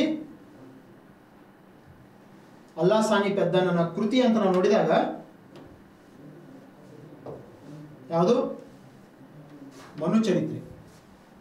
ನಂದಿ ತಿಮ್ಮಣ್ಣನ ಕೃತಿ ಅಂತ ನೋಡಿದಾಗ ಪಾರಿಜಾತ ಹರಣ. ತೆನಾಲಿ ರಾಮಕೃಷ್ಣನವರ ಕೃತಿ ಅಂತ ನೋಡಿದಾಗ ಪಾಂಡುರಂಗ ಮಹಾನ್ ಮಹಾತ್ಮೆ ಅಂತ ಹೇಳ್ತೀವಿ. ಈ ರೀತಿ ಇವರ ಕಾಲದ ಶ್ರೇಷ್ಠವಾದ ಕೃತಿಗಳು ಆಯುರ್ವೇದ ಆರ್ಯವೇದಂದ ಸುಧಾನಿಧಿ, ಗಂಗಾಂಬಿಕೆಯ ಮಧುರಾ ವಿಜಯಂ ಮತ್ತು ಬ್ರಹ್ಮಸೂತ್ರ ಪ್ರೌಢದೇವರನ ಬ್ರಹ್ಮಸೂತ್ರ, ಒಂದನೇ ಡಿಂಡಿಮ ರಾಜ ಡಿಂಡಿಮನ ಸಾಳ್ವಾಭ್ಯುದಯಂ. ಈ ಕೃತಿಗಳನ್ನು ನೋಡಿದ್ದೀವಿ. ಎರಡನೇ ಡಿಂಡಿಮನ ಅಚ್ಯುತಾಭ್ಯುದಯಂ ಅಂತ ಹೇಳ್ತೀವಿ. ಅದೇ ರೀತಿ ಕನಕದಾಸರ ಮೋಹನ ತರಂಗಿನಿ ಹರಿಭಕ್ತ ಸಾರ ಅಂತ ಹೇಳ್ತೀವಿ. ಪುರಂದರದಾಸರ ಕೀರ್ತನೆಗಳು ನೋಡ್ತೀವಿ. ಚಾಮರಸನ ಪ್ರಭುಲಿಂಗ ಲೀಲೆ ನೋಡ್ತೀವಿ. ಎಲ್ಲ ಕೃತಿಗಳೊಂದಿಗೆ ವಿದ್ಯಾರಣ್ಯರು ಈ ಸಾಮ್ರಾಜ್ಯದ ಸ್ಥಾಪನೆಗೆ ಕಾರಣೀಭೂತರಾದಂಥ ವಿದ್ಯಾರಣ್ಯರ ವಿದ್ಯಾರಣ್ಯರ ಕಾಲಗಣ ಎಂಬ ಪುಸ್ತಕ ಕೃತಿಯನ್ನು ನೋಡ್ತೀವಿ, ಸುದರ್ಶನ ಸಂಗ್ರಹ ಎಂಬ ಕೃತಿಯನ್ನು ನೋಡ್ತೀವಿ. ಈ ರೀತಿ ಈ ಸಾಮ್ರಾಜ್ಯವು ಸಾಹಿತ್ಯಿಕವಾಗಿ ಅಂತ ಕೊಟ್ಟಿರುವಂತಹ ಶ್ರೇಷ್ಠವಾದ ಕೊಡುಗೆ ತೆಲುಗು ಭಾಷೆ, ಕನ್ನಡ ಭಾಷೆ ಮತ್ತು ಸಂಸ್ಕೃತ ಭಾಷೆಗೆ ಶ್ರೇಷ್ಠವಾದ ಕೊಡುಗೆಯನ್ನು ಕೊಟ್ಟಿದ್ದಾರೆ. ವಿಜಯನಗರ ಸಾಮ್ರಾಜ್ಯಕ್ಕೆ ಭೇಟಿ ಕೊಟ್ಟ ಪ್ರವಾಸಿಗರು ಅಂತ ಹೇಳ್ತೀವಿ. ವಿಜಯನಗರ ಸಾಮ್ರಾಜ್ಯಕ್ಕೆ ಭೇಟಿ ಕೊಟ್ಟಂತಹ ಪ್ರವಾಸಿಗಳು ಅಂದ ತಕ್ಷಣ ನಿಕೋಲೋ ಕುಂಟಿ ಅಂತ ಹೇಳ್ತೀವಿ. ಹೌದಾ? ಅದೇ ರೀತಿ ಇಟಲಿಯ ವೇನಿಸ್ ಪ್ರವಾಸಿಗ. ಹೌದಾ? ಈತನು ವೇನಿಸ್ ಪ್ರವಾಸಿಗ ಅಂತ ಹೇಳ್ತೀವಿ. ಒಂದನೇ ದೇವರಾಯನ ಕಾಲದಲ್ಲಿ ವಿಜಯನಗರಕ್ಕೆ ಭೇಟಿ ಕೊಟ್ಟಿದ್ದ ಅಂತ ಹೇಳ್ತೀವಿ. ಹ್ಮ್? ಅದೇ ರೀತಿ ಅಬ್ದುಲ್ ರಜಾಕ್ ಅಂತ ಬರ್ತಾನೆ ಈ ಅಬ್ದುಲ್ ರಜಾಕ್ ಪರ್ಷಿಯಾದ ಅರಸನಾದಂತಹ ಯಾ ಶಾರುಖ್ ಖಾನ್? ಮಿರ್ಜಾ ಶಾರುಖ್ ಖಾನ್. ಈ ಮಿರ್ಜಾ ಶಾರುಖ್ ಖಾನ್ನ ರಾಯಭಾರಿಯಾಗಿ ಭರತಖಂಡಕ್ಕೆ ಬರ್ತಾನೆ. ಈತನು ಸಹಿತ ಈ ಸಾಮ್ರಾಜ್ಯದ ಬಗ್ಗೆ ಶ್ರೇಷ್ಠತೆಯನ್ನು ಹೇಳ್ತಾನೆ, ಶ್ರೇಷ್ಠವಾಗಿ ವರ್ಣನೆ ಮಾಡ್ತಾನೆ. ಎರಡನೇ ದೇವರಾಯನ ಆಸ್ಥಾನದ ಕಾಲದಲ್ಲಿ ಭೇಟಿ ನೀಡ್ತಾನೆ. ಈತನ ಪ್ರಕಾರ ವಿಜಯನಗರದ ದಂತಕಥೆಗಳು ದಂತ ನಗರಿಗಳು ಅಂತ ಹೇಳ್ತೀವಿ. ಭೂಮಿಯ ಮೇಲೆ ಮತ್ತೊಂದು ಇಲ್ಲ ಅಂತ ಹೇಳ್ತಾನೆ. ಈ ವಿಜಯನಗರ ಅನ್ನುವಂತಹ ಶ್ರೇಷ್ಠವಾದ ನಗರಿ, ಇಂಥ ನಗರಿ ಭೂಮಿ ಮೇಲೆ ಕರ್ನಾಟಕದ ತಮಿಳು ಕರ್ನಾಟಕದ ತುಂಗಭದ್ರಾ ನದಿಯ ಮೇಲೆ ಇರುವಂತಹ ನಗರ. ಇದೆ ಮಾತ್ರ ಜಗತ್ತಿನಲ್ಲಿ ಮತ್ತೆಲ್ಲೂ ಕಂಡಿಲ್ಲ ಅಂತ ಹೇಳ್ತಾರೆ ಇಂಥ ನಗರ ನಾನು ಕಣ್, ಕಣ್ಣಲ್ಲಿ ಕಂಡಿಲ್ಲ. ಆ ನಾಶವಾದಾಗ ಸಹಿತ ನಾನು ಕಣ್ಣಾರೆ ಇಂಥ ಸಿಚುವೇಶನ್ ಕಂಡಿದ್ದೀವಿ ಅಂತ ಹೇಳಿ ಇತಿಹಾಸಕಾರ ವರ್ಣನೆ ಮಾಡ್ತಾರೆ ಈ ಕಾಲದ. ನಿಕೇಟಿನ್ ಅಂತ ಹೇಳ್ತೀವಿ ರಷ್ಯಾದ ಪ್ರವಾಸಿಗ ಈತನು ಸಹಿತ ಭೇಟಿ ಕೊಡ್ತಾನೆ ಈತನ ಪ್ರಕಾರ ಈ ನಗರದಲ್ಲಿ ಬಡವರು ಮತ್ತು ಶ್ರೀಮಂತರು ಬಡವರು ಮತ್ತು ಶ್ರೀಮಂತರು ಸಾಮಾನ್ಯ ಜನರು ಅತಿ ಹೆಚ್ಚು ಅಂತರದಲ್ಲಿ ಜನರು ವಾಸವಾಗುತ್ತಿದ್ದರು ಅಂತ ಹೇಳ್ತಾರೆ. ಬಡವ ಬಡವ ಸಮಾಜನೇ ಇರಲಿಲ್ಲ. ಅಷ್ಟೊಂದು ಶ್ರೀಮಂತವಾದ ಭವ್ಯವಾದ ಸಾಮ್ರಾಜ್ಯವಾಗಿತ್ತು ಈ ಸಾಮ್ರಾಜ್ಯ. ಕಲೆ ಮತ್ತು ವಾಸ್ತುಶಿಲ್ಪಕ್ಕೆ ಇವರ ಕೊಡುಗೆಗಳನ್ನು ನೋಡಿದಾಗ ಶ್ರೇಷ್ಠವಾದಂತಹ ಕೊಡುಗೆಗಳು ಅಂತ ಹೇಳ್ತೀವಿ. ಯಾಕಂದ್ರೆ ಇವರು ಕೊಟ್ಟಿರುವಂತಹ ಕೊಡುಗೆಗಳೇ ಇವತ್ತು ಭವ್ಯವಾದಂತಹ ಪ್ರವಾಸಿ ವ್ಯವಸ್ಥೆಯನ್ನು ಕರ್ನಾಟಕ ಸರ್ಕಾರ ಮಾಡ್ಕೊಂಡು ಹೋಗ್ತಾ ಇದೆ. ಹಂಪಿಯಲ್ಲಿ ನೋಡಿದಾಗ ವಿಜಯ ವಿಠಲ ದೇವಾಲಯ, ಅನೇಕ ದೇವಾಲಯಗಳು, ನಾನು ಹೇಳ್ತೀನಿ, ವಿರೂಪಾಕ್ಷ ದೇವಾಲಯ ಅಂತ ಗೊತ್ತಾಗುತ್ತೆ ಇವರ ವಾಸ್ತುಶಿಲ್ಪ ಕೇಂದ್ರಗಳು ಅಂತ ನೋಡಿದಾಗ. ಹಂಪಿ ಶೃಂಗೇರಿ ತಿರುಪತಿ. ಹಂಕಿ, ಹಂಪಿ ಶೃಂಗೇರಿ ತಿರುಪತಿ ಕಂಚಿ, ಲೇಪಾಕ್ಷಿ, ಶ್ರೀ ಶೈಲಂ ಶ್ರೀಶೈಲಂ ಕಾರ್ಕಳ, ಅದೇ ರೀತಿ ಮೂಡಬಿದ್ರೆ ಭಟ್ಕಳ ಕೋಲಾರ. ಹಂಪಿ, ಶೃಂಗೇರಿ, ತಿರುಪತಿ, ಕಂಚಿ, ಲೇಪಾಕ್ಷಿ ಶ್ರೀಶೈಲ ಕಾರ್ಕಳ, ಮೂಡಬಿದ್ರೆ, ಭಟ್ಕಳ ಮತ್ತು ಕೋಲಾರ ಎಂಬ ಭೂಪ್ರದೇಶಗಳನ್ನು ನೋಡಿದಾಗ ಇವರ ಕಾಲದ ಕಲಾಕೃತಿಗಳನ್ನು ನಾವು ನೋಡಬಹುದು. ಅಂತ ಗೊತ್ತಾಗುತ್ತೆ. ಇವರ ಕಾಲದ ಪ್ರಮುಖ ದೇವಾಲಯಗಳೊಡನ ಹಜಾರ ರಾಮಸ್ವಾಮಿ ದೇವಾಲಯ ಹಂಪಿಯಲ್ಲಿ ಶ್ರೀಕೃಷ್ಣ ದೇವರಾಯನ ಕಾಲದಲ್ಲಿ ನಿರ್ಮಾಣ ಆಗಿರುವಂತಹ ದೇವಸ್ಥಾನ. ಇದು ಪೂರ್ವ ಭಾರತದ ದಿಗ್ವಿಜಯದ ಸವಿ ನೆನಪಿಗಾಗಿ ಕಟ್ಟಿರುವಂತಹ ದೇವಾಲಯ ಯಾವುದು? ಹಜಾರ ರಾಮಸ್ವಾಮಿ ದೇವಾಲಯ. ಅದೇ ರೀತಿ ಉದಯಗಿರಿಯಿಂದ ತಂದಿರುವಂತಹ ಮೂರ್ತಿಯನ್ನು, ವಿಗ್ರಹವನ್ನು ವಿಗ್ರಹವನ್ನು ಇಲ್ಲಿ ಸ್ಥಾಪನೆ ಮಾಡ್ತಾರೆ ಅಂತ ಗೊತ್ತಾಗುತ್ತೆ. ವಿಜಯ ವಿಠಲ ದೇವಾಲಯ ಅಂತ ಹೇಳ್ತೀವಿ. ಎರಡನೇ ದೇವರಾಯನ ಕಾಲದಲ್ಲಿ ಪ್ರೌಢದೇವರಾಯನ ಕಾಲದಲ್ಲಿ ಸ್ಥಾಪನೆಯಾಗಿದ್ದು ವಿಜಯ ವಿಠಲ ದೇವಾಲಯ. ಪ್ರಾರಂಭ, ಕಟ್ಟಡದ ಪ್ರಾರಂಭ ಆಗಿತ್ತು, ಮುಂದೆ ಅಚ್ಯುತರಾಯನ ಕಾಲದಲ್ಲಿ ಪೂರ್ಣಗೊಳ್ತದೆ. ಅಚ್ಯುತರಾಯ ಮತ್ತು ಸದಾಶಿವನ ಕಾಲದಲ್ಲಿ. ಅದೇ ರೀತಿ ಇದರ ಮುಖಮಂಟಪದ ಎದುರಿಗೆ ಏಕಶಿಲಾ ಕಲ್ಲಿನ ರಥ ಇದೆ ಅಂತ ಹೇಳ್ತೀವಿ. ಈ ಕಲ್ಲಿನ ರಥವೇ ಅಟ್ರಾಕ್ಟಿವ್ ಆಗಿದೆ. ಇವತ್ತು ಪ್ರವಾಸಿಗರನ್ನು ಸೆಳೆಯುವಂತ ಸೆಳೆಯುವಂತ ಕೆಲಸ ಮಾಡ್ತಾ ಎಲ್ಲಿಪ್ಪ? ವಿಜಯ ವಿಠಲ ದೇವಾಲಯದ ಫ್ರಂಟ್ ಮುಂಭಾಗದಲ್ಲಿ ಮಂಟಪದ ಎದುರಿಗೆ ಏಕಶಿಲಾ ಏಕಶಿಲಾ ಕಲ್ಲಿನ ರಥವಿದೆ. ಆ ರಥದಲ್ಲಿ ಗರುಡ, ಕಲ್ಲಿನ ಗರುಡಿನ ಚಿತ್ರವಿದೆ. ನೆನಪಿರಲಿ. ಅದೇ ರೀತಿ ವೀರಭದ್ರ ದೇವಾಲಯ, ಲೋಟಸ್ ಮಹಲ್ ಅಂತ ಹೇಳ್ತೀವಿ Lotus Mahal. Indo Saracenic Saracenic ಶೈಲಿಯಲ್ಲಿ ದೇವಸ್ಥಾನಗಳು ಈ ಲೋಟಸ್ ಮಹಲ್ ಕಟ್ಟಿದ್ದಾರೆ ಅಂತ ವಿದ್ಯಾಶಂಕರ್ ದೇವಾಲಯ ಅಂತ ಹೇಳ್ತೀವಿ. ಇದು ಶೃಂಗೇರಿಯಲ್ಲಿ ಕಂಡು ಬರ್ತದ ವಿದ್ಯಾಶಂಕರ್ ದೇವಾಲಯ ದ್ರಾವಿಡ ಶೈಲಿಯಲ್ಲಿರುವಂತಹ ದೇವಸ್ಥಾನ. ಈ ವಿದ್ಯಾಶಂಕರ್ ದೇವಾಲಯ ನೋಡ್ತೀವಿ ಈ ರೀತಿ ಅನೇಕ ದೇವಾಲಯದೊಂದಿಗೆ ಹಂಪಿಯಲ್ಲಿ ಅನೇಕ ಇತರ ಕಟ್ಟಡಗಳು ಅಂತ ನಾವು ನೋಡಿದಾಗ, ಕಾವಲು ಗೋಪುರ, ಆನೆಲಾಳ, ಕುದುರೆಲಾಳ ಎಂಬ ವಿಷಯವನ್ನು ಓದ್ತೀವಿ. ಅದೇ ರೀತಿ ಸಾಸಿವೆ ಕಾಳಿನ ಗಣಪತಿ ಇದೊಂದು ವೈಶಿಷ್ಟ್ಯಮಯವಾದಂತಹ ಸಾಸಿವೆ ಕಾಳಿನ ಗಣಪತಿ ಕಡಲೆಕಾಳು ಗಣಪತಿ, ಗಣೇಶ ಅಂತ ಹೇಳ್ತೀವಿ. ಈ ದೇವಸ್ಥಾನಗಳು ಇವರ ಕಾಲದಲ್ಲಿ ಕಂಡು ಬರ್ತಾವ ಈ ರೀತಿ ಈ ಸಾಮ್ರಾಜ್ಯವು ಕೊಟ್ಟಿರುವಂತಹ ವಾಸ್ತುಶಿಲ್ಪಿಕ ವಾಸ್ತುಶಿಲ್ಪಿಯ ಶಿಲ್ಪದ ವ್ಯವಸ್ಥೆಯಲ್ಲಿ ಕೊಟ್ಟಿರುವಂತಹ ಕೊಡುಗೆಗಳು. ಇವರು ಕೊಟ್ಟಿರುವಂತಹ ಶ್ರೇಷ್ಠವಾದ ಕೊಡುಗೆಗಳು ಅಂತ ನೋಡಿದಾಗ ಸಾಹಿತ್ಯಿಕ ಕ್ಷೇತ್ರದಲ್ಲಿ ಕೊಟ್ಟಿರುವಂತಹ ಕೊಡುಗೆಗಳು. ಇವೆಲ್ಲವನ್ನು ನೋಡಿದಾಗ ನಮಗೆ ಏನು ಗೊತ್ತಾಗತ್ತಾ? ಈ ಸಾಮ್ರಾಜ್ಯದ ಶ್ರೇಷ್ಠತೆಯನ್ನು ಗೊತ್ತಾಗುತ್ತೆ. ರಕ್ಕಸ ತಂಗಡಿ ಕಾಳಗವು ಇತಿಹಾಸದ ದೃಷ್ಟಿಕೋನದಿಂದ ಸಂಪೂರ್ಣವಾದ ಬದಲಾವಣೆ ತರ್ತದೆ. ಅಬ್ದುಲ್ ರಜಾಕ್, ನಿಕೋಟಿನ್, ಅನೇಕರು ವಿದೇಶಿ ಪ್ರವಾಸಿಗರು ಈ ಸಾಮ್ರಾಜ್ಯದ ಬಗ್ಗೆ ಹೊಂದಿರುವಂತಹ ಅವರ ವಿಚಾರಗಳನ್ನು ಗೊತ್ತಾಗುತ್ತೆ. ಈ ಶ್ರೇಷ್ಠವಾದ ಸಾಮ್ರಾಜ್ಯದ ವಿಚಾರಗಳು ಸಹಿತ ನಮಗೆ ಗೊತ್ತಾಗುತ್ತೆ. ನಾನು ನಿಮಗೆ ಇನ್ನೊಂದ್ಸರಿ ಸ್ಪೆಷಲ್ ಆಗಿ ಹೇಳ್ತೀನಿ. ಸಂತೋಷ್ ಲಾಡ್ ಫೌಂಡೇಶನ್ ಯಾವುದೇ ರೀತಿಯ ಚಾರ್ಜಸ್ಗಳನ್ನ ಇಟ್ಟಿಲ್ಲ. ಸಂತೋಷ್ ಲಾಡ್ ಫೌಂಡೇಶನ್ ಯಾವುದೇ ರೀತಿಯ ಚಾರ್ಜಸ್ಗಳನ್ನು ಇಟ್ಟಿಲ್ಲ. ಫೇಕ್ ಆಗಿ ಫೇಕ್ ಆಗಿ ಅಂತರ್, ಸಾಮಾಜಿಕ ಅಂತರ್ಜಾಲದಲ್ಲಿ ಇದೊಂದು ಹರಡ್ತಾ ಇದೆ. ಇದು ಸಂಪೂರ್ಣ ಸುಳ್ಳು ಇದೆ. ಇಲ್ಲಿ ನೋಡ್ರಿ ಸಂತೋಷ್ ಲಾಡ್ ಫೌಂಡೇಶನ್ ಅಂತ ಹೇಳಿ ನಮ್ದು ಈ ರೀತಿ ಯಾವುದೋ ಅಕೌಂಟ್ ಇಲ್ಲ. ಅಲ್ಲಿ ನಾವು ಯಾವ ರೀತಿ ಸಿಂಬಾಲು ಇಟ್ಟಿಲ್ಲ. ಅಲ್ಲಿ ನಾವು ಇಟ್ಟಿರೋದು, ನಾವು ದೊಡ್ಡ ಶನಿ ಇದ್ದೀವಿ ನಾವು ಒಂದು ದೊಡ್ಡ ಶನಿತನ ಮಾಡಿದ್ದೀವಿ. ನಾನು ಹೇಳ್ತೀನಲ್ಲ, ಸಂತೋಷ್ ಲಾಡ್ ಸರ್ ಅವರ ಚಿತ್ರ ಯಾವ ರೀತಿ ಇಟ್ಟಿದೀವಪ್ಪ ಅಂದರೆ, ಒಂದು ಗಾಂಧಿ ಟೋಪಿಯನ್ನು ಧರಿಸಿರುವುದು, ಹಸಿರು ಶಾಲವನ್ನು ಧರಿಸಿರುವಂತಹ ಒಂದು ಚಿತ್ರವನ್ನು ಇಟ್ಟಿದ್ದೀವಿ. ನೋಡ್ರಿ, ಇದು ಯಾವುದು ಸತ್ಯವಲ್ಲ, ಇದು ನಮಗೆ ಅವಶ್ಯಕತೆ ಇಲ್ಲ, ಇದು ಸಂಪೂರ್ಣವಾಗಿ ಸುಳ್ಳು ಆಗಿದೆ ಅದೇ ರೀತಿ ಹೇಳ್ತಾ ಇದ್ದೀನಿ, ಯಾವ ಹಣದ ಅಪೇಕ್ಷೆ ಇಲ್ಲ, ಈ ಶಿಂಬಾಲಿನ ಅಪೇಕ್ಷೆನೂ ಇಲ್ಲ. ಯಾರು ಫೇಕ್ ಆಗಿ ಇದನ್ನು ಮಾಡ್ತಿದ್ರಲ್ಲ, ನೈತಿಕವಾಗಿ ಅತಿ ದೊಡ್ಡ ತಪ್ಪಿದೆ. ಇದು ನಿಮಗೆ ನೆನಪಿರಲಿ. ವಿದ್ಯಾರ್ಥಿಗಳಿಗೆ ನಾವು ಕೊಡುತ್ತಾ ಇರುವುದು ವಿದ್ಯೆ, ದಾನ, ಹಣದ ಆಶೆ ಅಲ್ಲ. ಸಂತೋಷ್ ಲಾಡ್ ಫೌಂಡೇಶನ್, ಇನ್ನೂ ಹೇಳ್ತೀನಿ, ಒಂದು ನಯಾ ಪೈಸಾದ ಅಪೇಕ್ಷೆ ಇಟ್ಟಿಲ್ಲ. ಸಸಿಯನ್ನು ನೆಡಬೇಕು, ಹಸಿರು ಕ್ರಾಂತಿ ಆಗತ್ತೆ. ಅದೇ ರೀತಿ ಅದರೊಂದಿಗೆ ಈ ಕ್ಲಾಸನ್ನು ಉಚಿತವಾಗಿ ನಿಮಗೆ ಕೊಡಬೇಕು. ಭವಿಷ್ಯತ್ತಿನಲ್ಲಿ ಅಂದರೆ ಮುಂಬರುವ ಕೆಲವು ದಿನಗಳಲ್ಲಿ ಸ್ವತಃ ಸಂತೋಷ್ ಲಾಡ್ ಸರ್ ಅವರೇ, ಸಂತೋಷ್ ಲಾಡ್ ಸರ್ ಅವರೇ ಧಾರವಾಡಕ್ಕೆ ಬಂದು ಧಾರವಾಡಕ್ಕೆ ಬಂದು ನಿಮ್ಮೊಂದಿಗೆ ಚರ್ಚೆಯನ್ನು ಮಾಡಲಿದ್ದಾರೆ ಮುಂಬರುವ ಯೋಜನೆಗಳನ್ನು ರೂಪಿಸೋದಿದೆ. ಇದು ಯಾವುದೂ ಸತ್ಯವಲ್ಲ, ಇದು ಸಂಪೂರ್ಣವಾಗಿ ಸುಳ್ಳಿದೆ. ಯಾರೂ ಸಹಿತ ಒಂದು ರೂಪಾಯಿಯನ್ನು ಹಾಕುವ ಅವಶ್ಯಕತೆ ಇಲ್ಲ ನಿಮಗೆ ಗೊತ್ತಿರಲಿ ಸ್ವತಃ ಸಂತೋಷ್ ಲಾಡ್ ಸರ್ ಅವರೇ ಇಲ್ಲಿ ಬಂದು ಏನು ಮಾಡ್ತಾರೆ, ನಿಮ್ಮೊಂದಿಗೆ ಚರ್ಚೆ ಮಾಡೋದ್ರ ಮುಖಾಂತರ K S I A S ಮುಂಬರುವ ಯೋಜನೆಗಳನ್ನು ರೂಪಿಸ್ತಾರೆ. ಅದೇ ರೀತಿ ನಿಮ್ಗೊಂದು ಮಾತು ಹೇಳ್ತೀನಿ.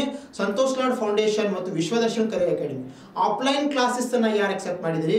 ವಿಶ್ವದರ್ಶನ್ ಕರಿಯರ್ ಅಕಾಡೆಮಿಯಲ್ಲಿ ಆಫ್ಲೈನ್ ಕ್ಲಾಸಸ್ನ ಪಡೆಯಬಹುದು. ಅಲ್ಲಿ ಮಾತ್ರ ಐವತ್ತು ಪರ್ಸೆಂಟ್ ಆಫ್ ಮಾಡೋದ್ರ ಮುಖಾಂತರ ನೀವು ಆಫ್ಲೈನ್ ಕ್ಲಾಸಸ್ನ ಕೊಡ್ತಾರೆ.